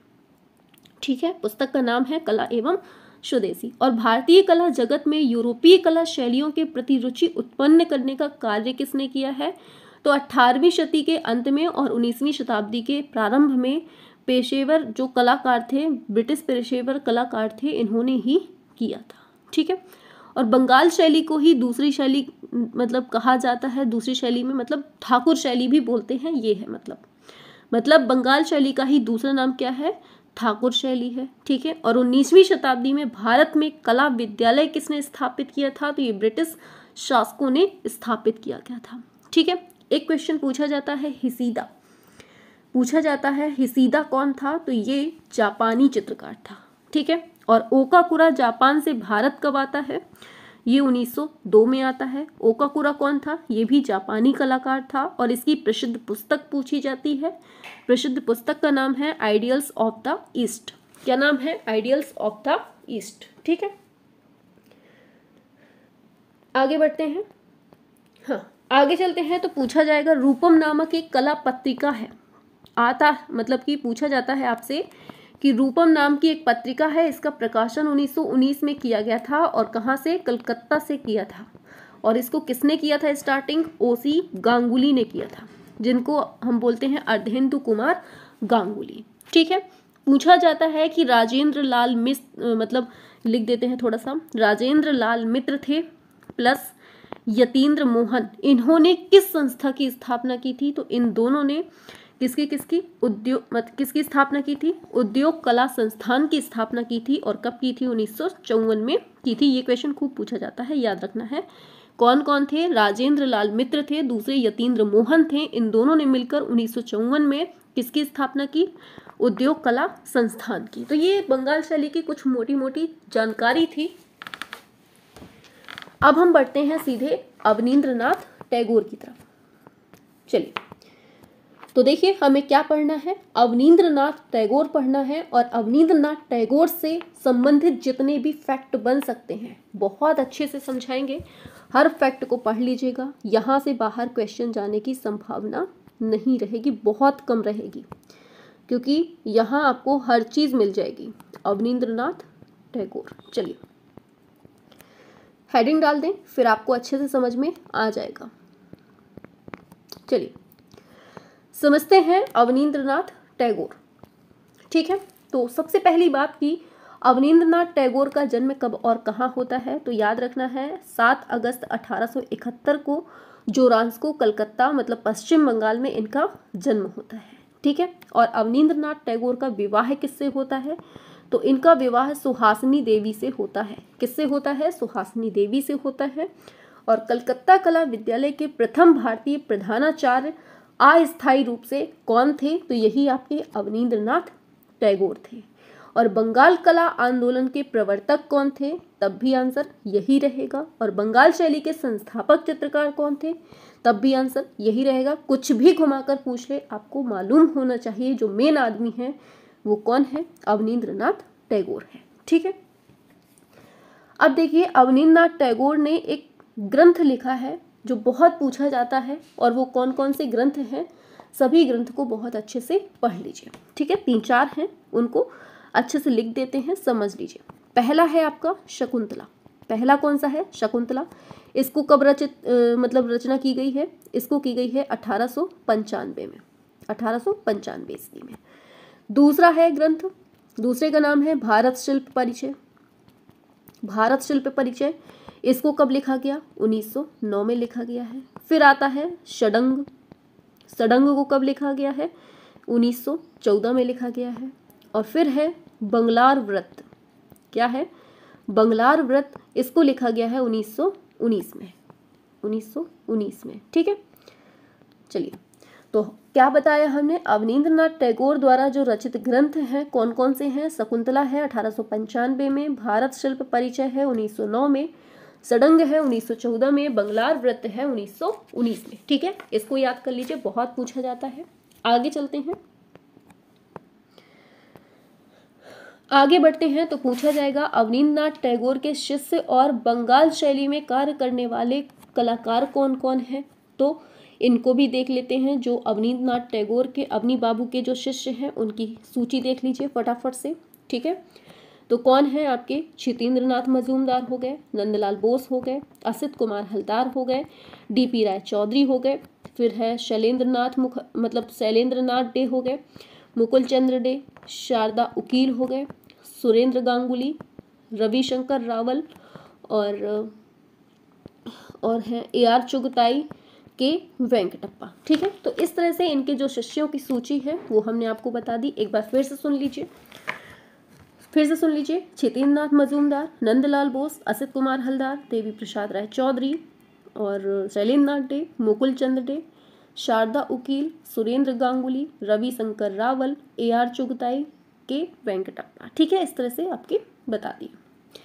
पूछा जाता है भारतीय शिल्प सडंग के लेखक कौन हैं? अभी हम पीछे बता चुके हैं। कौन हैं? तो ये आपके अवनीन्द्रनाथ टैगोर हैं। ठीक है? आगे चलते हैं तो पूछा जाएगा कि जापानी वॉश टेक्निक की शिक्षा किससे इन्होंने प्राप्त की थी? अभी हमने आगे ही बताया था कि वॉश टेक्निक जो है ये बंगाल शैली की प्रमुख देखने को मिलती है और इसके जो मतलब जनक माने जाते हैं भारत में वो अवनीन्द्रनाथ टैगोर माने जाते हैं, अवनी बाबू माने जाते हैं। और इस वॉश टेक्निक की जो शिक्षा ली है इन्होंने किससे ली है? तो ये याद रखना है, यको हामा तैकान और साथ में हिशीदा। इन दोनों से इन्होंने शिक्षा ली है। ठीक है? और अवनीन्द्र नाथ टैगोर कलकत्ता आर्ट स्कूल के अस्थाई प्रिंसिपल ये कब बनते हैं? 1905 में बनते हैं। इनकी एक प्रसिद्ध कृति है औरंगज़ेब का बुढ़ापा। पूछा जाता है औरंगज़ेब का बुढ़ापा जो है, किसका है? तो ये आपके अवनी बाबू का चित्र है। ठीक है? सारे फैक्ट समझते जाना है। और पूछा जाता है कि औरंगज़ेब का जो बुढ़ापा है या फिर औरंगज़ेब की वृद्धावस्था, इसके जो चित्र सुरक्षित किए गए हैं कहाँ पर? तो ये आपके रामपुर, जो आपका राज्य पुस्तकालय रामपुर है, अपने यूपी में, यहीं पर इसको रखा गया है। ठीक है? आगे बढ़ते हैं। आगे बढ़ते हैं तो एक क्वेश्चन पूछा जाता है कमल पत्र पर अश्रुपात। क्या है? कमल पत्र पर अश्रुपात, ये आपका कागज़ पर जल रंग से बनता है। संग्रह की बात की जाए तो भारतीय संग्रहालय कोलकाता में इसको रखा गया है, ठीक है? और बनाया किसने है? अपने प्यारे से अवनी बाबू ने बनाया है, ठीक है? और अवनीन्द्रनाथ टैगोर के आरंभिक कला गुरु की बात की जाए तो ये कौन है आपके? ये गिलहार्डी हैं। पूछा जाता है गिलहार्डी कौन है? तो ये इटालियन कलाकार हैं, ठीक है? कौन है? इटालियन कलाकार हैं। और पूछा जाता है बुद्ध जन्म, बुद्ध और सुजाता, ये किसके चित्र हैं? किसकी रचना है? तो ये आपके अवनीन्द्रनाथ टैगोर की रचना है। ठीक है? और अवनीन्द्रनाथ टैगोर ने भारत माता का चित्र बनाया है। कौन सा? भारत माता का चित्र बनाया है। कब बनाया है? 1905 में बनाया था, जब बंगाल विभाजन हो रहा था। तब, ठीक है? और सांधगीप सांधदीप भी बनाया है इन्होंने। सांधदीप भी बनाया है, ठीक है? और पूछ लेगा कौन सी टेक्निक में तो यही आपकी जापानी वॉश टेक्निक में बनाया है, ठीक है? आगे बढ़ते हैं। आगे पूछा जाएगा कि ऐसे देखिए, एक क्वेश्चन ऐसे भी पूछा जा चुका है आपके पिछले एग्जामों में कि अवनींद्रनाथ टैगोर द्वारा बनाए गए किस चित्र ने क्रांतिकारियों में नए जोश का संचार किया था? तो ये वही चित्र है 1905 वाला भारत माता का, जिसने जोश भरा था। ठीक है नेक्स्ट क्वेश्चन है कि गणेश जननी, ये कृति किसकी है? गणेश जननी किसकी है? ये भी आपकी अवनी बाबू की ही है। ठीक है? कौन से माध्यम में बनी है? तो ये कागज़ पर जल रंग से बनी है। संग्रह की बात की जाए तो भारतीय संग्रहालय कोलकाता में इसको रखा गया है और है किसकी? अवनी बाबू की है। ठीक है? क्या नाम है? गणेश जननी। आगे बढ़ते हैं नेक्स्ट पर। तो आगे पूछा जाएगा अवनीन्द्रनाथ टैगोर का प्रसिद्ध चित्र है नटीर पूजा नटी, क्या है? नटीर पूजा नटी विद एक तारा, जो कि पेस्टल माध्यम में बनता है। और इसको अगर संग्रह की बात की जाए तो राष्ट्रीय आधुनिक कला संग्रहालय नई दिल्ली में इसको सुरक्षित भी किया गया है। ठीक है? सारे फैक्ट बहुत इंपॉर्टेंट हैं। बहुत अच्छे से समझना है आपको। ठीक है? हाँ। आगे चलते हैं तो अवनीन्द्रनाथ टैगोर के द्वारा चित्रित एक प्रमुख चित्र है मतलब चित्र श्रृंखला है, अरेबियन नाइट्स। पूछा जाता है, अरेबियन नाइट्स जो चित्र श्रृंखला है, ये किसकी है? तो ये आपके अवनी बाबू की है। और वॉश चित्रांकन के लिए अवनीन्द्रनाथ टैगोर धरातल के रूप में क्या प्रयुक्त करते थे? तो इंग्लैंड का बना एक कॉर्ट्रिज पेपर था। कौन सा? कॉर्ट्रिज कॉर्ट्रिज पेपर था। इसका यूज़ करते थे। ठीक है? और समाज की बुराइयों को अवनीन्द्रनाथ टैगोर ने किसके माध्यम से उजागर किया था? तो इसको मुखौटों के माध्यम से उजागर किया था। किसके? मुखौटों के माध्यम से। और अवनीन्द्रनाथ टैगोर द्वारा बनाई गई काटुम कुटुम की काष्ठ निर्मित कृति है उल्लू, बहुत इंपॉर्टेंट है।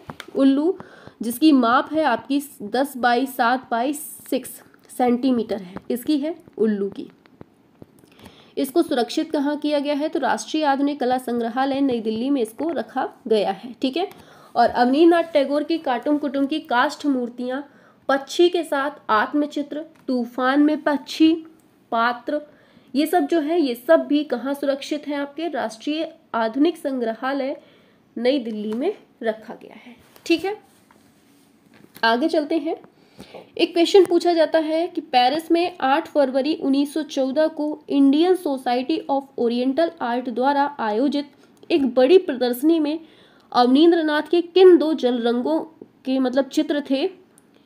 मतलब लोगों को बहुत आकर्षित किया था। ये दो जल चित्र थे, बहुत आकर्षित किया था तो वो कौन कौन से चित्र थे? पहला था मंदिर के शिखर पर एक गिद्ध, दूसरा था यात्रा का अंत, ठीक है? और प्रदर्शनी कब लगती है? 1914 में। कहाँ पर? पेरिस में, ठीक है? और ये दोनों चित्र किसके हैं? अवनी बाबू के हैं। याद रखना है, बहुत मतलब कि आकर्षित किया था लोगों को इन्होंने, ठीक है? आगे चलते हैं तो पूछा जाएगा सन 1921 सारे फैक्ट समझते जाना है। सन 1921 से उन्नीस के बीच में अवनीन्द्रनाथ टैगोर ने कलकत्ता विद मतलब कलकत्ता विश्वविद्यालय के रानी बागेश्वरी पीठ के अध्यापक पद पर रहते हुए जो व्याख्यान दिया था वो किस नाम से संग्रहित है? मतलब कि 1921 से 29 के बीच में अवनीन्द्र नाथ टैगोर जो थे ना, इन्होंने कलकत्ता विश्वविद्यालय के रानी बागेश्वरी पीठ के अध्यापक पद पर रहते हुए व्याख्यान दिया था। वो कहाँ मतलब कि किस नाम से प्रसिद्ध है? तो ये बागेश्वरी शिल्प प्रबंधावली बांग्ला भाषा में है, इससे मतलब इस नाम से संग्रहित है, ये याद रखना है, ठीक है? और अवनी पूछा जाएगा, अव अवनीन्द्र नाथ टैगोर की आत्मकथा का नाम क्या है? तो इसका नाम है जोड़ासा कोर धारे। क्या नाम है? जोड़ासा कोर, आत्मकथा का नाम क्या है? जोड़ासा कोर धारे, ठीक है? याद रखना है। और अवनीन्द्रनाथ टैगोर ने रविंद्रनाथ की किस पुस्तक के लिए बत्तीस रेखा चित्र बनाए थे? तो इनकी पुस्तक का नाम था चित्रांगदा। चित्रांगदा। किसकी है ये? रविंद्रनाथ की है। इनकी इस पुस्तक के लिए बत्तीस चित्र बनवाए बनाए थे खुद। किसने? अवनीन्द्रनाथ टैगोर ने। ठीक है, आगे चलते हैं। पूछा जाएगा अवनीन्द्रनाथ टैगोर की शिष्या का नाम क्या था? तो इनकी शिष्या का नाम था रानी चंदा। क्या नाम था? रानी चंदा नाम था। और अवनीन्द्रनाथ के शिष्य कला के प्रसार हेतु कहाँ कहाँ पर गए थे? तो ये गए थे शांति निकेतन में नंदलाल बोस, लखनऊ में असित कुमार हलदार और मैसूर में के वेंकटप्पा और मद्रास में देवी प्रसाद राय चौधरी, जयपुर में शैलेंद्र नाथ डे, लाहौर में समरेंद्र नाथ गुप्त। इनके साथ में मतलब कला प्रसार के लिए गए थे। ठीक है? याद रखना है, एक बार फिर से सुन लीजिएगा तो रिवीजन हो जाएगा। ठीक है? इस क्लास को कम से कम दो से तीन बार पढ़ लेना। पूरा रट जाएगा आपको। ठीक है? पूछा जाएगा, भारत की प्रथम महिला चित्रकार कौन थी? तो कौन थी? ये सुनैना देवी थी या फिर सुनैनी देवी कहीं कहीं। ठीक है? और सुनैनी देवी कौन है? ये अवनीन्द्रनाथ की बहन है। ठीक है? राज कहानी नामक साहित्य मतलब बांग्ला साहित्य है, ये किसने लिखा है?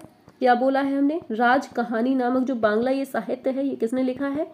अवनी बाबू ने ही लिखा है, ठीक है? और बच्चों के लिए किसने अबन ठाकुर नामक पुस्तक लिखी है? कौन सी? अबन ठाकुर किसके लिए? बच्चों के लिए किसने अवनी बाबू ने लिखी है? कैलाश की कल्पना, ये किसका चित्र है?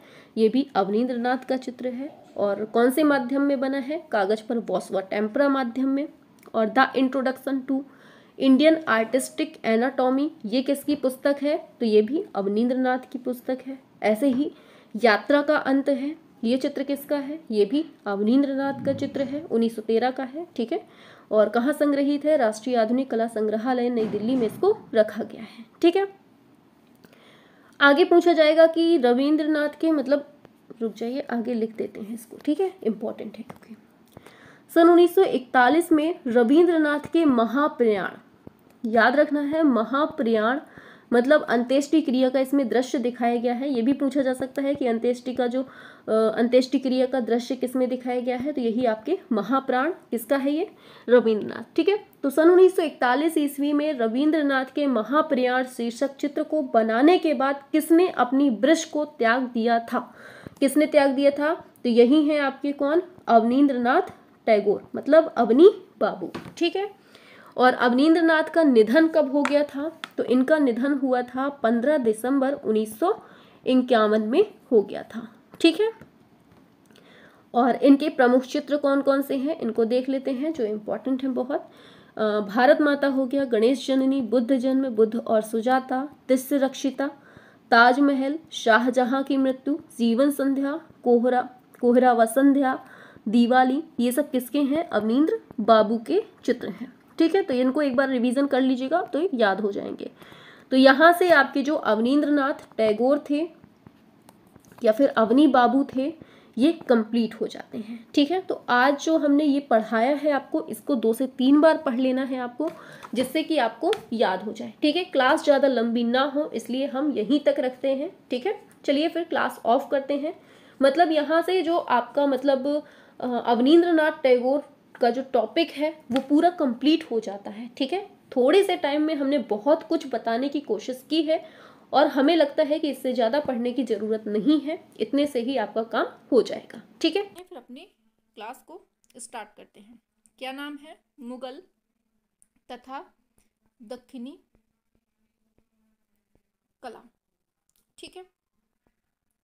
पहले हम मुगल चित्रकला के जो कुछ फैक्ट हैं, थोड़ा बहुत समझ लेते हैं, फिर उसके बाद हम सीधे बाबर अकबर से शुरू करेंगे। ठीक है? चलिए। तो देखिए, सबसे पहले हमें जानना होगा कि जो मुगल कला है, अपनी मुगल चित्रकला है, इसका टाइम पीरियड क्या है? तो याद रखना है, ये पंद्रह से लेकर अट्ठारह तक का हमें टाइम पीरियड मिलता है। ठीक है? पूछा जाएगा मुगल चित्रकला का जो आदि स्रोत है, वो कहाँ था? तो ये पूछा जाता है तो कहाँ था? समरकंद और हिरात। ठीक है? और कला का द्वितीय स्वर्ण युग किसको कहा जाता है? मुगल काल को कहते हैं। ठीक है? मुगल काल को कला का द्वितीय स्वर्ण युग कहते हैं। ठीक है? और पूछा जाता है कि मुगलों के पूर्वज कहाँ से आए थे? तो ये हमारे कहाँ से? मंगोल से आए थे। ठीक है? मंगोल या फिर कह दीजिए मध्य एशिया। और मुगल शैली की उत्पत्ति कौन सी दो शैलियों से मिलने से हुई है? तो ये आपकी हिंदू प्लस ईरानी दोनों के मिलने से हुई है। या फिर कह दीजिए भारतीय परिशियन ठीक है? याद रखना है। और ईरान के राजाओं को किस सचित्र पोथियों में अंकित किया जाता है? कौन सी? तो याद रखना है, ये है आपकी शाहनामा। और शाहनामा के रचनाकार कौन है? तो ये फिरदौसी हैं, ठीक है? और फिरदौसी को ही पूर्व का होमर कहा जाता है, ये भी याद रखना है, ठीक है? पूछा जाता है, हाशिया बनाकर चित्रण करना कौन सी शैली का प्रभाव है? तो ये फारसी शैली का है, जो हाशिया बनाकर चित्रण करते हैं। इसमें फारसी शैली का प्रभाव है, ठीक है? और भारत में सबसे पहले जो स्थिर चित्रण हुए हैं, जिसे हम स्टिल लाइफ बोलते हैं, ये कहाँ देखने को मिला है? तो यही आपकी मुगल शैली में, ठीक है? और भारत में व्यापक रूप से जो शबीह बनाना आरंभ हुआ, ये भी मुगल शैली से। और सभी कहते किसको हैं? पोर्ट्रेट को कहते हैं। और दरबारी चित्रकला का संबंध कौन से शैली से है? तो ये भी आपकी मुगल शैली। ये मोटी मोटी चीज़ें हमने आपको अभी स्टार्टिंग में बताई हैं। अभी हम अब स्टार्ट करते हैं हर चीज़ को, ठीक है?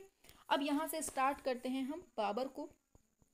चलिए, बाबर का टाइम पीरियड अगर देखा जाए तो क्या है? 1526 से 1530 तक है, ठीक है? तो अब इसको समझते हैं। तो इसको समझने से पहले एक चीज़ याद रखिएगा। पूछा जाता है कि भारत में मुगल वंश का संस्थापक कौन था? तो यही अपना बाबर था, ठीक है? और बाबर के जन्म की बात की जाए तो इसका जन्म वैलेंटाइन डे के दिन होता है, चौदह फरवरी चौदह में होता है। कहाँ पर? फरगना घाटी के अंजी अंदीजन में, जो कि वर्तमान में उज्बेकिस्तान में है, ठीक है? और बाबर को कौन सी उपाधि दी गई थी? इसको कलंदर की उपाधि दी गई थी, ठीक है? और बाबर ने अपनी आत्मकथा, बाबर की आत्मकथा कौन सी थी? तो जो कि बाबरी थी। इसमें हिरात को किस रूप में वर्णित किया गया है? तो बुद्ध जीवियों से भरे शहर के रूप में हिरात को वर्णित किया गया है। ठीक है? यहाँ यहाँ तक समझ में आ गया होगा। आगे बढ़ते हैं। तो बाबर ने अपनी आत्मकथा तुजो के बाबरी जो थी, क्या थी? तुजो के बाबरी, इसकी रचना किस भाषा में की है? तो इनकी जो खुद की मातृभाषा थी, चगताई तुर्की में की है। कौन सी भाषा में? ता से तुर्गी तुर्की हो गया और ता से तुजो के बाबरी हो गया, ऐसे याद रखिए, ठीक है? और तुजो के बाबरी जो है, इसी को हम बाबरनामा भी बोलते हैं। इसका फारसी में अनुवाद किया गया था और फारसी में अनुवाद किसने किया? अब्दुल रहीम खान खाना ने किया था, ठीक है? याद रखना है। और बाबर जो है ना, इसको हम मुबैयान नामक जो पद्य शैली है, कौन सी? मुबैयान नामक जो पद्य शैली है, इसका आविष्कारक भी मानते हैं, ठीक है? और इसी ने आगरा में ज्यामितीय विधि से एक बाग, जिसका नाम है नूर अफगान। नूर अफगान बाग, जिसे हम आराम बाग बोलते हैं, कहाँ है? आगरा में है। इसको ज्यामितीय विधि से बनवाया था। किसने? बाबर ने ही, ठीक है? और बाबर ने आराम बाग, या फिर कह दीजिए नूर अफगान, इस बाग का निर्माण कहाँ करवाया था? ये भी खूब पूछा जाता है तो याद रखना है, आगरा में करवाया था, हमने आपको बता दिया, ठीक है? आगे चलते हैं तो बाबर ने किसके चित्रों की आलोचना की थी? तो इसने बेहजाद के चित्रों की आलोचना की थी जो कि ये ईरानी चित्रकार था ठीक है? और बेहजाद कहाँ का चित्रकार था? ये खुरांस और हिरात का चित्रकार था ठीक है? और किस ई, आ, किस मतलब पूछा जाता है कि किस ईरानी चित्रकार को पूर्व का राफेल कहते हैं? तो यही है अपना बेहजाद जिसको हम पूर्व का राफेल बोलते हैं ठीक है? यहाँ तक समझ आया? आगे चलते हैं। पूछा जाएगा कि बाबर द्वारा भारत में लाई गई जो शाहनामा है, इसकी एक सचित्र प्रति अंग्रेज़ों द्वारा चुरा ली गई थी, ठीक है? और ये चुरा कर कहाँ ले गई है? ले ले जाई गई? तो ये एशियाटिक सोसाइटी लंदन में इसको ले गया गया, ठीक है? और पूछा जाता है कि जीवनी लेखकों का राजकुमार किसको कहते हैं? तो यही है अपना बाबर, जीवनी लेखकों का राजकुमार। और मुगल कालीन स्थापत्य की जो शुरुआत होती है, वो किस किस समय में होती है? स्टार्टिंग की बात हो रही है, ठीक है? तो बाबर के समय में। और मुगल कालीन प्रथम स्थापत्य कौन सा है? पूछा जाता है तो ये आपका काबुली बाग मस्जिद है, जो कि कहाँ है? पानीपत, हरियाणा में है। याद रखना है, ठीक है? और बाबरी मस्जिद कहाँ है? ये आपके अयोध्या में है, सभी जानते हैं कहाँ है। अयोध्या में है बाबरी मस्जिद। और इसके निर्माण की बात की जाए, किसने करा था? तो ये बाबर का एक सेनापति था मीर बाकी। इसने इसका निर्माण किया था। ठीक है? आगे चलते हैं। ये थी बाबर की कुछ मोटी मोटी चीज़ें जो आपके एग्ज़ाम में फैक्टली पूछ ली जाती हैं। ठीक है? मेन मेन चीज़ें हमने आपको बता दी। आगे चलते हैं। नेक्स्ट आता है आपका हुमायूं।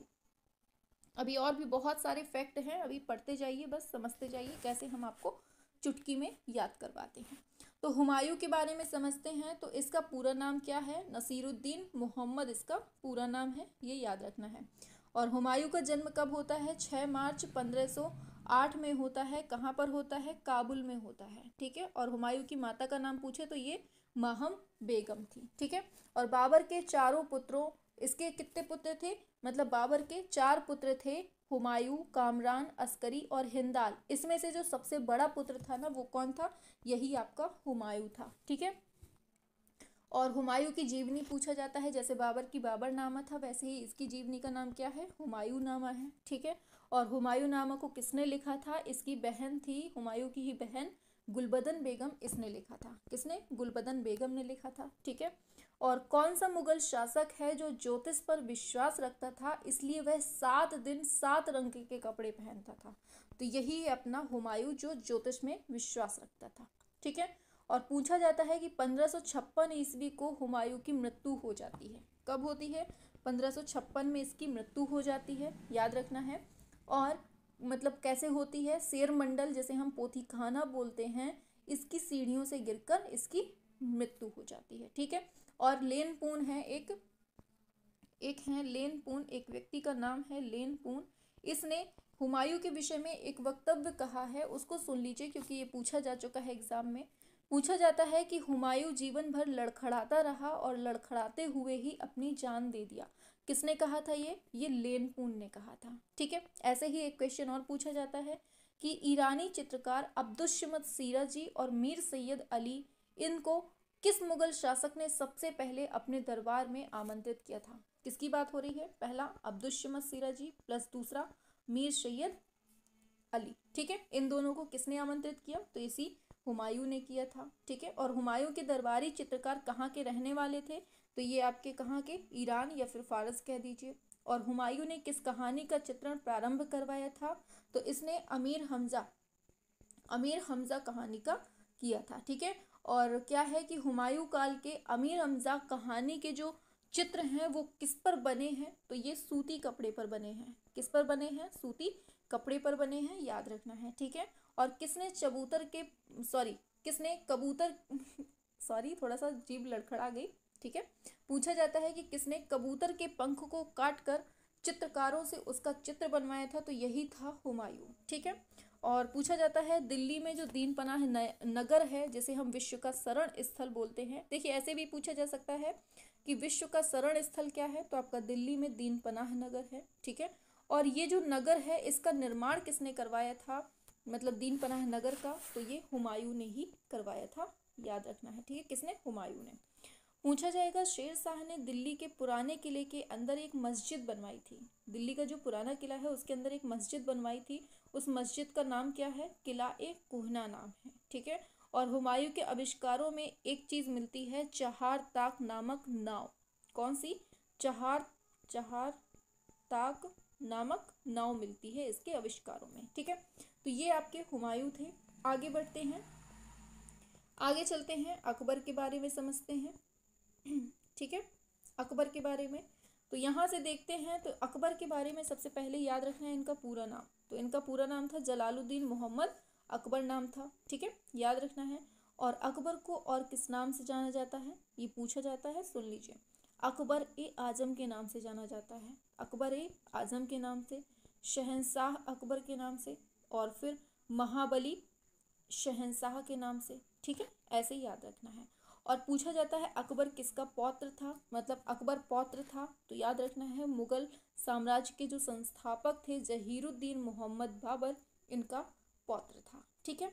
और किसका पौत्र था? बाबर का था, याद रखना है, ठीक है? और पुत्र किसका था? तो ये हुमायूं प्लस हमीदा दोनों का पुत्र था, ठीक है? हमीदा और हुमायूं। ठीक है? और अकबर के जन्म की बात की जाए, कब होता है? तो इसका जन्म होता है 1542 में। कहाँ पर? अमरकोट सिंध में। राजपूत शासक थे राणा बीरबल शाह मतलब बीरबल के मतलब बीर साल के महल में। सॉरी बीरबल निकल आया। बीर साल के महल में हुआ था। ठीक है? और पूछा जाता है कि मुखाकृति चित्रण कौन से मुगल शासक के समय में होता है? तो मुखाकृति चित्रण यही आपके अकबर के समय में होता है। याद रखना है, ठीक है? और पूछा जाता है कि अकबर का जो राज्याभिषेक हुआ था, वो कितने वर्ष की उम्र में हुआ था? जब ये तेरह साल का था, तब हुआ था। और कहाँ हुआ था? कलानौर आपके पंजाब में पड़ता है तो यहीं पर हुआ था। ठीक है? पंद्रह में हुआ था, ये भी लिख लीजिए। ठीक है? आगे पूछा जाता है कि अकबर का विवाह कब होता है तो पंद्रह में होता है। ठीक है? और आमेर के कछवाहा राजपूत भारमल की पुत्री थी, जोधाबाई, इनसे होता है। उल्टा करके पूछ ले जोधाबाई किसकी पत्नी थी? तो अकबर की थी। याद रखना, ठीक है? एक चीज़ बहुत इंपॉर्टेंट है कि भाईचारा के लिए जो मतलब देखी जाती है, सुलह एक कुल की नीति। भाईचार आपसी भाईचारे के लिए, हिंदू, मुस्लिम एकता के लिए सुलह ए कुल जो नीति अपनाई थी, वो इसी अकबर ने अपनाई थी, ठीक है? और अकबर के दरबार में 1580 ईस्वी में फतेहपुर सीकरी से आने वाले प्रथम जेसुइट मिशन का जो नेतृत्व किया है, वो किसने किया है? तो याद रखना है, ये फादर एका बीवा थे, इन्होंने किया था। ठीक है? और अकबर जो है ना, ये 1575 ईस्वी में इबादत खाना, जैसे हम पूजा ग्रह कहते हैं, इसकी स्थापना की थी। कहाँ पर की थी? ये की थी फतेहपुर सीकरी में की थी। ठीक है? याद रखना है। और पूछा जाता है जगत गुरु की उपाधि प्रदान किसको की थी अकबर ने? तो ये जैनाचार्य हरि विजय सूरी थे, जिनको जगत गुरु की उपाधि प्रदान की थी। ठीक है? और अकबर का मकबरा पूछ ले कहाँ है? तो ये है सिकंदराबाद में है। कहाँ है? सिकंदराबाद, आगरा में पड़ता है, उत्तर प्रदेश में यहाँ है। ठीक है? और अकबर के शासनकाल का प्रथम स्थापत्य कौन सा है? तो ये याद रखना है, कौन सा है? हुमायूं का मकबरा है, जो कि किसने बनवाया था? ये हाजी बेगम ने बनवाया था। ठीक है? और हाजी का मतलब पूछ ले क्या होता है? तो जिसने मक्का में स्थित तीर्थ स्थल की यात्रा की होती है ना, उसको हम हाजी बोलते हैं, ठीक है? याद रखना है। और पूछा जाएगा, अकबर का मकबरा जो है, इसका मकबरा जो है, किसने बनवाया था? तो इसका मकबरा इसके पुत्र जहांगीर ने बनवाया था, ठीक है? और मुगल शैली की नींव किसने रखी बोल दे? तो अकबर ने रखी है। और चित्रकला को प्रोत्साहित किसने किया है? तो यही अकबर ने किया है। पूछ लेगा देखिए, ये क्वेश्चन पूछा जाता है इंपॉर्टेंट है थोड़ा सा। कि जो आईने अकबरी है, इसके मुख्य चित्रकार कौन थे? किसके? आईने अकबरी के। आईने अकबरी के कौन थे? तो याद रखना है, केशव दास थे धर्मदास थे और बसावन ये थे, ठीक है? पूछा जाएगा, दीन इलाही धर्म किसने चलाया? तो ये अकबर ने चलाया है। किसने चलाया है? अकबर ने चलाया है दीन इलाही धर्म, ठीक है? इंपॉर्टेंट है कि 1575 में फतेहपुर सीकरी में इन्होंने बुलंद दरवाज़ा बनवाया था। कौन सी? विजय के उपलक्ष्य में तो ये गुजरात विजय के उपलक्ष्य में इन्होंने बनवाया था, ठीक है? और पूछा जाता है कि जो बुलंद दरवाज़ा है, इसकी ऊंचाई कितनी है? तो ये लगभग आपका एक फीट है, ठीक है? और पूछा जाता है कि शबीह जो है सबीह रचना का बड़े पैमाने पर जो आरंभ होता है, कहाँ पर होता है? अकबर के ही टाइम पे। और रूप चित्र का निर्माण किसने शुरू कराया? अकबर ने कराया। शबीह चित्रों को किसके समय में महत्व मिला? अकबर के समय में। और सबसे अधिक जो व्यक्ति चित्र बनते हैं, वो किसके समय में बनते हैं? तो ये भी अकबर के ही टाइम पे बनते हैं, ठीक है? और मुगल शैली में जो व्यक्ति चित्रण को विशेष स्थान मिला है, वो भी इसी के टाइम पे, अकबर के टाइम पे, ठीक है? और भारत में दरबारी इतिहास लेखन की परंपरा की शुरुआत पूछे, तब भी अकबर के समय में, ठीक है? और पूछा जाएगा कि फिर ये चीज़ें याद रखनी है, ठीक है सारी? आगे पूछा जा सकता है आपसे हाँ चलिए, आगे पूछा जा सकता है कि किस ग्रंथ का चित्रण मुगल शैली में हुआ है? तो ये जो हरिवंश पुराण है, ऐसे पूछा जाता है, हरिवंश पुराण जो है, इसका चित्रण कौन सी शैली में हुआ है? तो ये मुगल शैली में हुआ है, ठीक है? और वास्तविक रूप में मुगल शैली का निर्माण किसके शासनकाल में होता है? तो ये अकबर के टाइम पे होता है। और आईने अकबरी का रचयिता कौन है? तो ये अबुल फजल है, ठीक है? और किस मुगल सम्राट ने महान संगीतज्ञ हरिदास से भेंट की थी? किसने की थी? तो ये अकबर हैं जिन्होंने भेंट की थी, ठीक है? और अकबर के समय उसके तस्वीर खाने में कुल कितने चित्रकार काम करते थे? तो यहाँ पर 260 चित्रकार काम करते थे, जिसमें से छप्पन प्रतिशत हिंदू थे। कितने? छप्पन प्रतिशत हिंदू थे, ठीक है?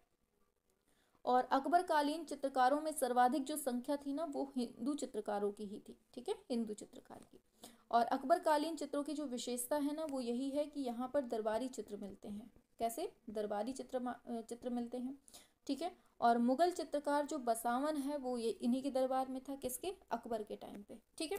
तो बहुत अच्छे से समझ में आ रहा होगा। थोड़ी सी भी क्लास अगर पसंद आया करे तो लाइक वाइक कर दिया करिए। ठीक है? अभी तो अकबर के बारे में बहुत सारी चीज़ें पढ़नी है क्योंकि मेनली जो है ना, आपके एग्ज़ाम में अकबर ही आपका अकबर।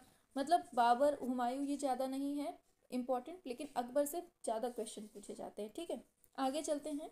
तो अकबर के दरबार का प्रसिद्ध छवि चित्रकार कौन था? तो ये आपका कौन था? बसावन था। और अकबरी दरबार मतलब पूछा जाता है, अकबरी दरबार का जो व्यंग्य चित्रकार था, वो कौन था? यही बसावन था। और बसावन कौन सी जाति से था? ये अहीर था, ठीक है? और रज्मनामा जो है ना, ये रज्मनामा किसका है? तो ये महाभारत का फारसी में अनुवाद है, याद रखना है, ठीक है? और महाभारत का फारसी में अनुवाद किसने किया है? तो अब्दुल कादिर बदायूनी ने किया है। और अकबर कालीन चित्रित है अनवर ए सोहेली। इसका अनुवाद मतलब ये अनुवाद किसका है? तो ये आपका पंचतंत्र का है, ठीक है? और पंचतंत्र का ही फारसी में अनुवाद किस मतलब क्या नाम से है? तो ये है अयार ए दानिश के नाम से है, ठीक है? याद रखना है। और अनवर ए सुहेली जो है, इसका फारसी अनुवाद किया किसने है? तो इसका नाम इंपॉर्टेंट है। हुसैन इब्न अली बैज अल कासिफ इसने किया है। किसने? हुसैन इब्न अली बैज अल कासिफ ने। ठीक है? और पूछा जाएगा वाक़ात बाबरी इसकी मतलब पूछा जाएगा कि वाक़ात ए बाबरी की अकबर कालीन प्रति में कितने हिंदू और मुस्लिम चित्रकारों का उल्लेख है? क्वेश्चन ध्यान से सुन लीजिए। वाक़ात ए बाबरी की अकबर कालीन प्रति में कितने हिंदू और मुस्लिम चित्रकारों को देखने को मिला है। तो ये हमें उन्नीस उन्नीस हिंदू मिलते हैं, हिंदू चित्रकार और तीन मुसलमान मिलते हैं। किसमें? वाक़ात बाबरी के अनुसार है। ऐसे ही क्वेश्चन सेम पूछता है कि आईने अकबरी में कुल कितने उच्च कोटि के हिंदू और मुस्लिम चित्रकार हैं? तो यहाँ हमें तेरह हिंदू मिलते हैं, चार मुसलमान मिलते हैं। ठीक है? तो तेरह चार किसमें है? आईने अकबरी में और वाक़ात बाबरी में उन्नीस तीन है। ठीक है? इस तरह से हैं। अब चलते हैं आगे। पूछा जाता है कि जो बाबर की एक प्रति सुरक्षित की गई है अकबर के समय में, वो कहाँ की गई है? तो ये आपके राष्ट्रीय संग्रहालय नई दिल्ली में इसको किया गया है। ठीक है? और पूछा जाता है कि जो रसिक प्रिया का चित्र है, जो संभवतः बीरबल को भेंट स्वरूप देने के लिए बनवाया गया था, कौन सा? रसिक प्रिया। कि कौन सी शैली में मिला है? तो ये आपकी मुगल शैली ही हो जाएगी। ठीक है? आगे एक चीज़ याद रखिएगा, जो केशव है ना, हिंदू कवि केशव, इनकी कृति थी रसिक प्रिया। सोलह सौ ईस्वी में चित्रित की गई थी, ठीक है? और रसिक प्रिया के बत्तीस चित्र जो हैं, बोस्टन संग्रहालय में हैं, और बारह चित्र कहाँ हैं? लंदन और अमेरिका के निजी संग्रहालयों में सुरक्षित हैं, ठीक है? हमने क्या बोला? फिर से सुन लीजिए। जो केशव हैं, इनकी रसिक प्रिया रचना है, जो कि सोलह सौ ईस्वी में होती है, ठीक है? और रसिक प्रिया के जो चित्र हैं, बत्तीस चित्र बोस्टन संग्रहालय में हैं और बारह चित्र जो हैं, कहाँ हैं, लंदन और अमेरिका के निजी संग्रहालय में है। पूछा जाता है, ये जो मतलब रसिक प्रिया है, ये किस शासक के समय में चित्र बनवाए थे? किस मुगल शासक ने इसमें चित्र बनवाए थे? तो ये बनवाए थे अकबर ने। किसने बनवाए थे? अकबर ने बनवाए थे? याद रखना है, ठीक है? आगे बढ़ते हैं तो अकबर की चित्रशाला का जो मुख्य चित्रकार था मीर मुसब्बिर ये कौन था? ये मीर सैयद अली था। ठीक है? याद रखना है। आगे चलते हैं। मतलब कि देखिए पूछा जाता था पूछा जा सकता है ऐसे कि जो मतलब आ, कि जो मीर सैयद अली है वो किसकी चित्रशाला में काम करते थे? तो उल्टा पूछ ले तब भी याद रखना है। ठीक है? आगे पूछा जाएगा कि अकबर के दरबार का जो श्रेष्ठ था वो कौन था? वो अब्दुलशमद था। और मुगल चित्रकला में हिंदू विषयों का पोषक कौन है? तो ये आपका अकबर है, ये पूछा जा चुका है, ठीक है? और अकबर ने अपनी दरबारी चित्रशाला, जिसे हम तस्वीर खाना कहते हैं, ये कहाँ स्थापित है? तो ये फतेहपुर सीकरी में है, ठीक है? और अकबर का आर्ट स्टूडियो कहाँ है? तो ये आपके फतेहपुर सीकरी में है। और अकबर की चित्रशाला में कुल कितने गुजराती थे? गुजराती की बात आएगी तो छह चित्रकार थे, गुजराती और कौन सा मुगल कलाकार, चित्रकार और सुलिपिकार ये दोनों था? बताइए, कौन सा मुगल कलाकार है जो चित्रकार, सुलिपिकार दोनों था? तो ये आपके जो अब्दुल शमद सीरा जी हैं ना, यही थे, ठीक है? और अकबर के दरबार का कौन सा कलाकार, मनसबदार था? तो यही अब्दुल शमद है, ठीक है? और अकबर कालीन सर्वोत्तम कृति अकबर नामा में सर्वश्रेष्ठ चित्र कौन सा है? तो ये सलीम के जन्म वाला चित्र है, ठीक है? याद रखना है। और मतलब कब बनता है? पंद्रह सौ नब्बे में। और मतलब इसके चित्रकार कौन है? शंकर हैं और संग्रह है लंदन में। ठीक है? याद रखना है। और अकबर किस कहानी का बहुत शौकीन था? तो ये अमीर हमज़ा की कहानी का बहुत शौकीन था। और अमीर हमज़ा मतलब जो कहानी का शौकीन था, वो कौन था? अकबर था, ये बता दिया आपको। और पूछा जाता है किसके संरक्षण में हमज़ा नामा का चित्रांकन हुआ था? तो ये अकबर के ही संरक्षण में हुआ था। याद रखना है, ठीक है? आगे बढ़ते हैं तो किसके संरक्षण में हमजा नामा ये बता दिया और पूछा जाएगा दास्तान अमीर हमजा, इसमें जो चित्र हैं कितने बने हैं? लगभग चौदह सौ बने हैं, ठीक है? और पूछा जाता है दास्तान अमीर हमजा के जो चित्र बने हैं वो कैसे बने हैं? तो 28 बाई 22 इंच लंबे चौड़े सूती कपड़े पर बने हैं, ठीक है? और अमीर हमजा की इकसठ प्रतियाँ जो हैं, ये कहाँ सुरक्षित हैं? तो ये आपके museum of applied art Vienna, Austria में रखा गया है इसको। ठीक है? पूछा जाएगा कि निपुण पक्षीकार, पक्षी जो चित्रकार था, दर मतलब अकबर के दरबार का पूछा जा रहा है ये। अकबर के दरबार का जो निपुण पक्षी चित्रकार था, वो कौन था? तो ये आपका मिस्किन था। कौन था ये? मिस्किन था। ठीक है? आगे बढ़ते हैं। आगे पूछा जाएगा कि अकबर कालीन कृष्ण गोवर्धन कृष्ण गोवर्धन पर्वत को उठाए हुए जो कि metropolitan museum of art New York USA में सुरक्षित है इसके लघु चित्र को पंद्रह से नब्बे के बीच में बनवाया गया था। किसने बनाया था इसको? तो इसको बनाया था मिस्किन ने। किसने बनाया था? मिस्किन ने बनाया था ये याद रखना है ठीक है? और किस मुगल शासक के का, आ, काल में कला पर सर्वप्रथम पाश्चात्य कला दिखाई देता है? तो ये अकबर के टाइम पे ठीक है? और रामचरित मानस की रचना के समय मुगल शासक कौन था? तो यही अपना अकबर था। और किस मुगल शासक के समय में पहली बार भित्ति चित्रकारी की शुरुआत होती है? तो अकबर के समय। और पूछा जाता है कि बाबर का घोड़े पर से गिरना ये किस युग का चित्र है? तो ये भी अकबर के ही टाइम का है, ठीक है? और रामायण, अच्छे से समझिएगा, रामायण, योग वशिष्ठ, हरिवंश, इसके चित्र कौन सी शैली में बने हैं? तो मुगल शैली में। और किसके काल में बने हैं? तो अकबर के काल में बने हैं। ठीक है? हर चीज़ को अच्छे से सुनते जाना है, क्योंकि सारे फैक्ट आपके एग्ज़ाम के लिए इंपॉर्टेंट हैं। आप लोग पढ़ रहे हैं तो आपको खुद समझ में आ रहा होगा। ठीक है? आगे पूछा जाएगा, किस युग के चित्रों में संयोजन में भीड़ अधिक है? तो ये अकबर के अकबर के, ठीक है? और बाबर चित्रों की रचना किसके युग में हुई है? अकबर के। और बाबर की जो पोथी है, जिसमें तीन सौ अठहत्तर पन्ने थे इंपॉर्टेंट है ये। बाबर की जो पोथी है, ठीक है? इसमें तीन सौ अठहत्तर पन्ने थे, जिसमें से एक सौ बाईस पन्नों पर एक सौ चवालीस पेज मतलब चित्र हैं। एक सौ बाईस पन्नों पर एक सौ चौवालीस। फिर से सुन लीजिए। बाबरनामा की पोथी, जिसमें से टोटल कितने हैं? तीन सौ अठहत्तर पन्ने हैं, जिसमें से एक सौ बाईस पन्नों पर एक सौ चवालीस चित्र हैं। ये सुरक्षित कहाँ है? तो राष्ट्रीय संग्रहालय नई दिल्ली में सुरक्षित है। ठीक है? और गोवा से ईसाई कलाकार तथा प्रचारक कौन से मुगल शासक के समय बुलाए गए? तो यही हैं अपने अकबर भाई साहब के टाइम पे। ठीक है? आगे समझ में? आगे बढ़ते हैं। आगे पूछा जाएगा कि युद्ध के चित्र किस मुगल शासक के समय सबसे अधिक अंकित होते हैं? तो ये अकबर के टाइम पे। और एक ही नाम के दो चित्रकार हैं जो मुगल तथा राजस्थानी शैली के थे। तो कौन है ये? मनोहर है। याद रखना है, ठीक है? और पूछा जाता है कि जो रज्मनामा है ना, जो रज्मनामा है, ये कहाँ संग्रहित है? तो ये मुगल पांडुलिपि है, सवाई मानसिंह द्वितीय संग्रहालय जयपुर में इसका संग्रहण है, ठीक है? और सीरी कलम किस कलाकार की उपाधि है, सभी जानते हैं, अब्दुल सीरी, ठीक है? और अकबर काल में शिल्प कला शिल्प मतलब सॉरी पूछा जाएगा कि अकबर काल में शिल्प शास्त्र की कौन सी पुस्तक लिखी गई है? तो यहाँ शिल्प रत्न लिखी गई है। कौन सी? शिल्प रत्न। और किसने लिखी है? केरल के श्री कुमार थे, इन्होंने लिखी है, ठीक है? और बाबरनामा, अकबरनामा के चित्र कहाँ पर बनाए गए हैं? अकबर के शासनकाल में, ठीक है? और दास्तान अमीर हमजा, इसकी चित्रावली किसने तैयार की है? तो ये तबरेज़ निवासी थे मीर सैयद अली और शीरा जी, इसके मतलब अबशुद, अब्दुलशमत ने की है, ठीक है? आगे चलते हैं तो बाबर, सोन नदी पार करते हुए अकबर कालीन चित्र किसने बनाया है? तो ये जगन्नाथ छितेरे ने बनाया है, ठीक है? और मुगल कालीन चित्रकार दसवंत का गुरु कौन था? तो ये ख्वाजा अब्दुलशमत था। और किस मुगल चित्रकार ने भारतीय देवी देवताओं का चित्रण किया है? तो ये दसवंत ने किया है।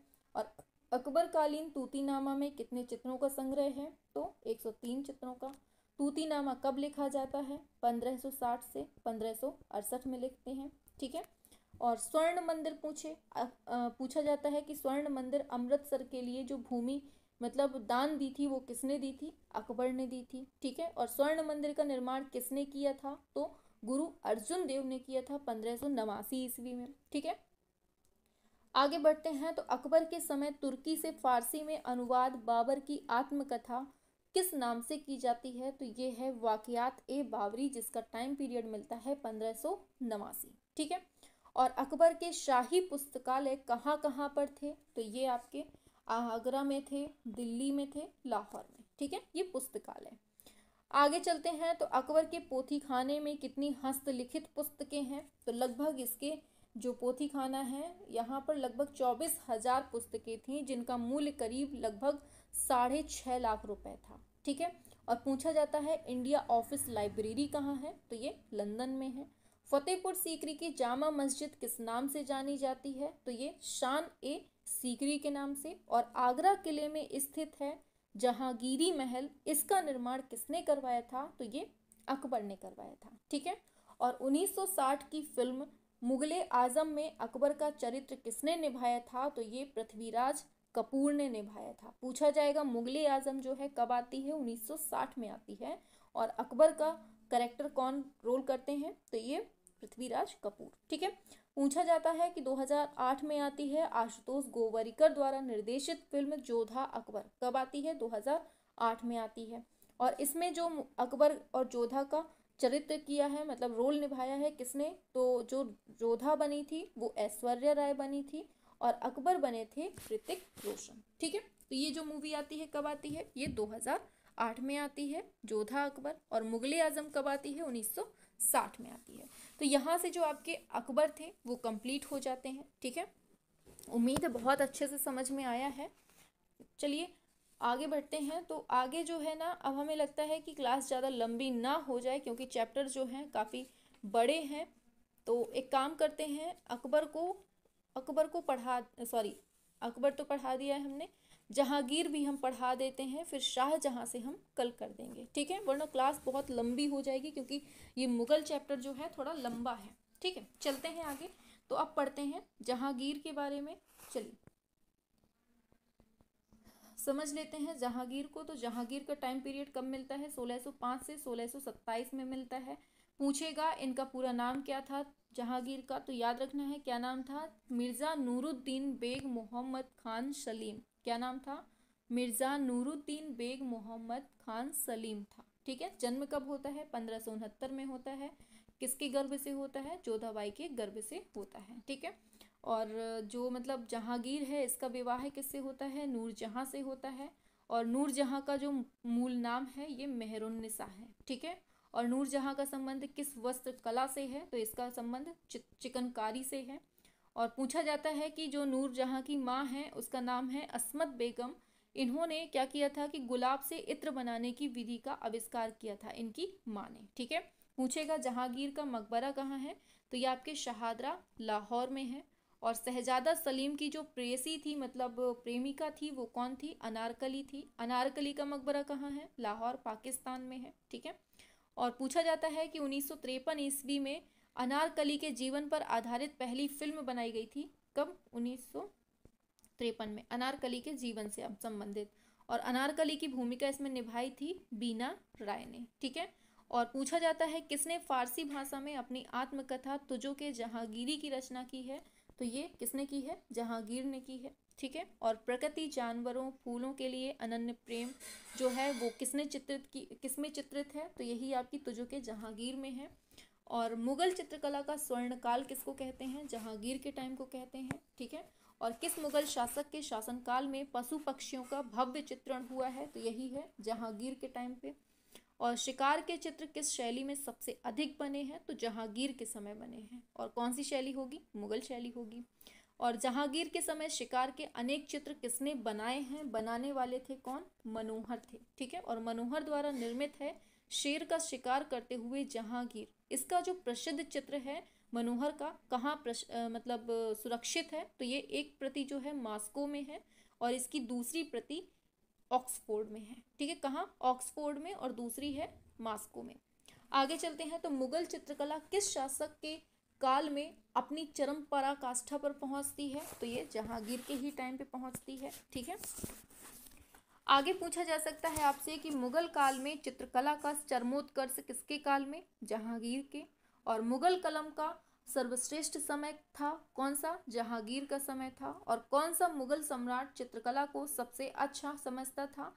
जहांगीर, ठीक है? और जहांगीर की चित्रशाला में हिंदू चित्रकार कौन था? तो ये था आपका बिशन दास था। कौन था ये? बिशन दास था।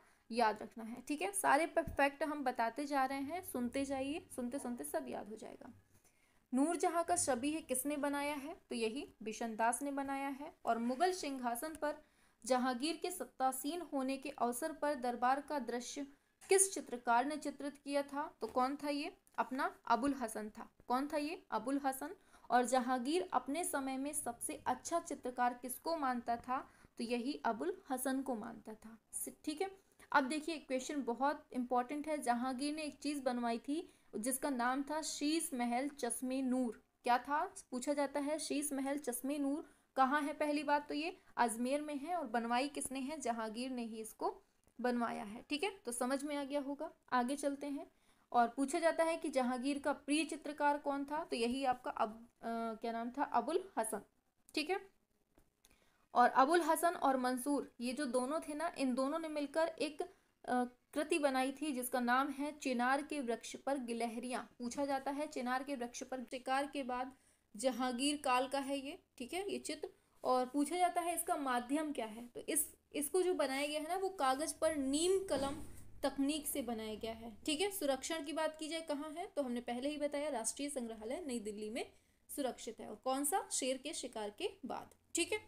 आगे पूछा जाएगा शेख सूफी संत, पूछा जाएगा शेख सूफी संत का चित्र किसने बनाया और यह कहाँ सुरक्षित है? तो किसने बनाया है इसको? बिशन दास ने बनाया है। सुरक्षण की बात की जाए तो वाराणसी में इसको सुरक्षित किया गया है, ठीक है? और जहांगीर के व्यक्ति चित्र में उसके हाथ में क्या ली हुए चित्रित किया गया है? तो इसमें फूल का चित्रण किया गया है। जहांगीर ने किस चित्रकार को शाह अब्बास का व्यक्ति चित्र बनाने ईरान भेजा था? तो किसको? बिशन दास को भेजा था, ठीक है? आगे, फतेहपुर सीकरी में स्थित है शेख सलीम चिश्ती की लाल पत्थर से बनी हुई दरगाह। इसको किस मुगल सम्राट ने संगमरमर से बनवाया था? पूछा जाता है इंपॉर्टेंट है, किसने बनवाया था? तो ये जहांगीर ने बनवाया था। और श्रीनगर में शालीमार बाग किसने बनवाया है? तो ये भी जहांगीर ने बनवाया है। और पूछा जाता है कि विशेष प्रकार के पशु, पक्षी, फूल, पत्ती, राजकुमार और जादूगर, यूरोपीय सिपाही ईसाई, साधक, चीनी, ड्रैगन, ये सब किसके टाइम पे मतलब किसके समय के चित्रों में अंकन में दिखाई देता है? तो ये जहांगीर के टाइम पे। और पूछा जाता है कि 1960 ईस्वी की के आसिफ द्वारा निर्देशित हिंदी फ़िल्म है मुगले आज़म, इसमें शहजादा सलीम और अनाल, अनारकली का जो रोल किया है, वो किसने किया है? तो दिलीप जो है, उसने शहजादा का और मधुबाला ने अनारकली। इसका रोल किया है, ठीक है? तो यहाँ तक समझ में आ गया होगा। तो यहाँ से हमारे जो जहांगीर हैं, वो कंप्लीट हो जाते हैं। तो आज की क्लास में हम केवल यहीं तक रखते हैं, वरना लंबी हो जाएगी क्लास अब इसके आगे हम पढ़ेंगे कल शाहजहाँ से, ठीक है? इसके आगे जो नेक्स्ट क्लास होगी, अब वो शाहजहाँ की होगी। तो क्लास कैसी लगी है सभी को? ये बताना है कि क्लास कैसी लगी है, ठीक है? क्लास कैसी लगी है? और समझ में आया कि नहीं आया? और ये सीरीज़ आपको कैसी लग रही है, सब कुछ आपको कमेंट बॉक्स पे बताना है, ठीक है? बस हमारा जो पसीना बह रहा है, जो मेहनत कर रहे हैं, उसका सफल आप लोगों को करना है, ठीक है? उसको जो सफल बनाएगा, वो कौन बनाएगा? वो आप लोग बनाएँगे, ठीक है? तो आप लोगों को कमेंट में नीचे ज़रूर बताना है कि आपकी क्लास कैसी लग रही है। पसंद आ रही है तो लाइक ज़रूर करना है कमेंट ज़रूर करना है, ठीक है? चलिए ऑफ़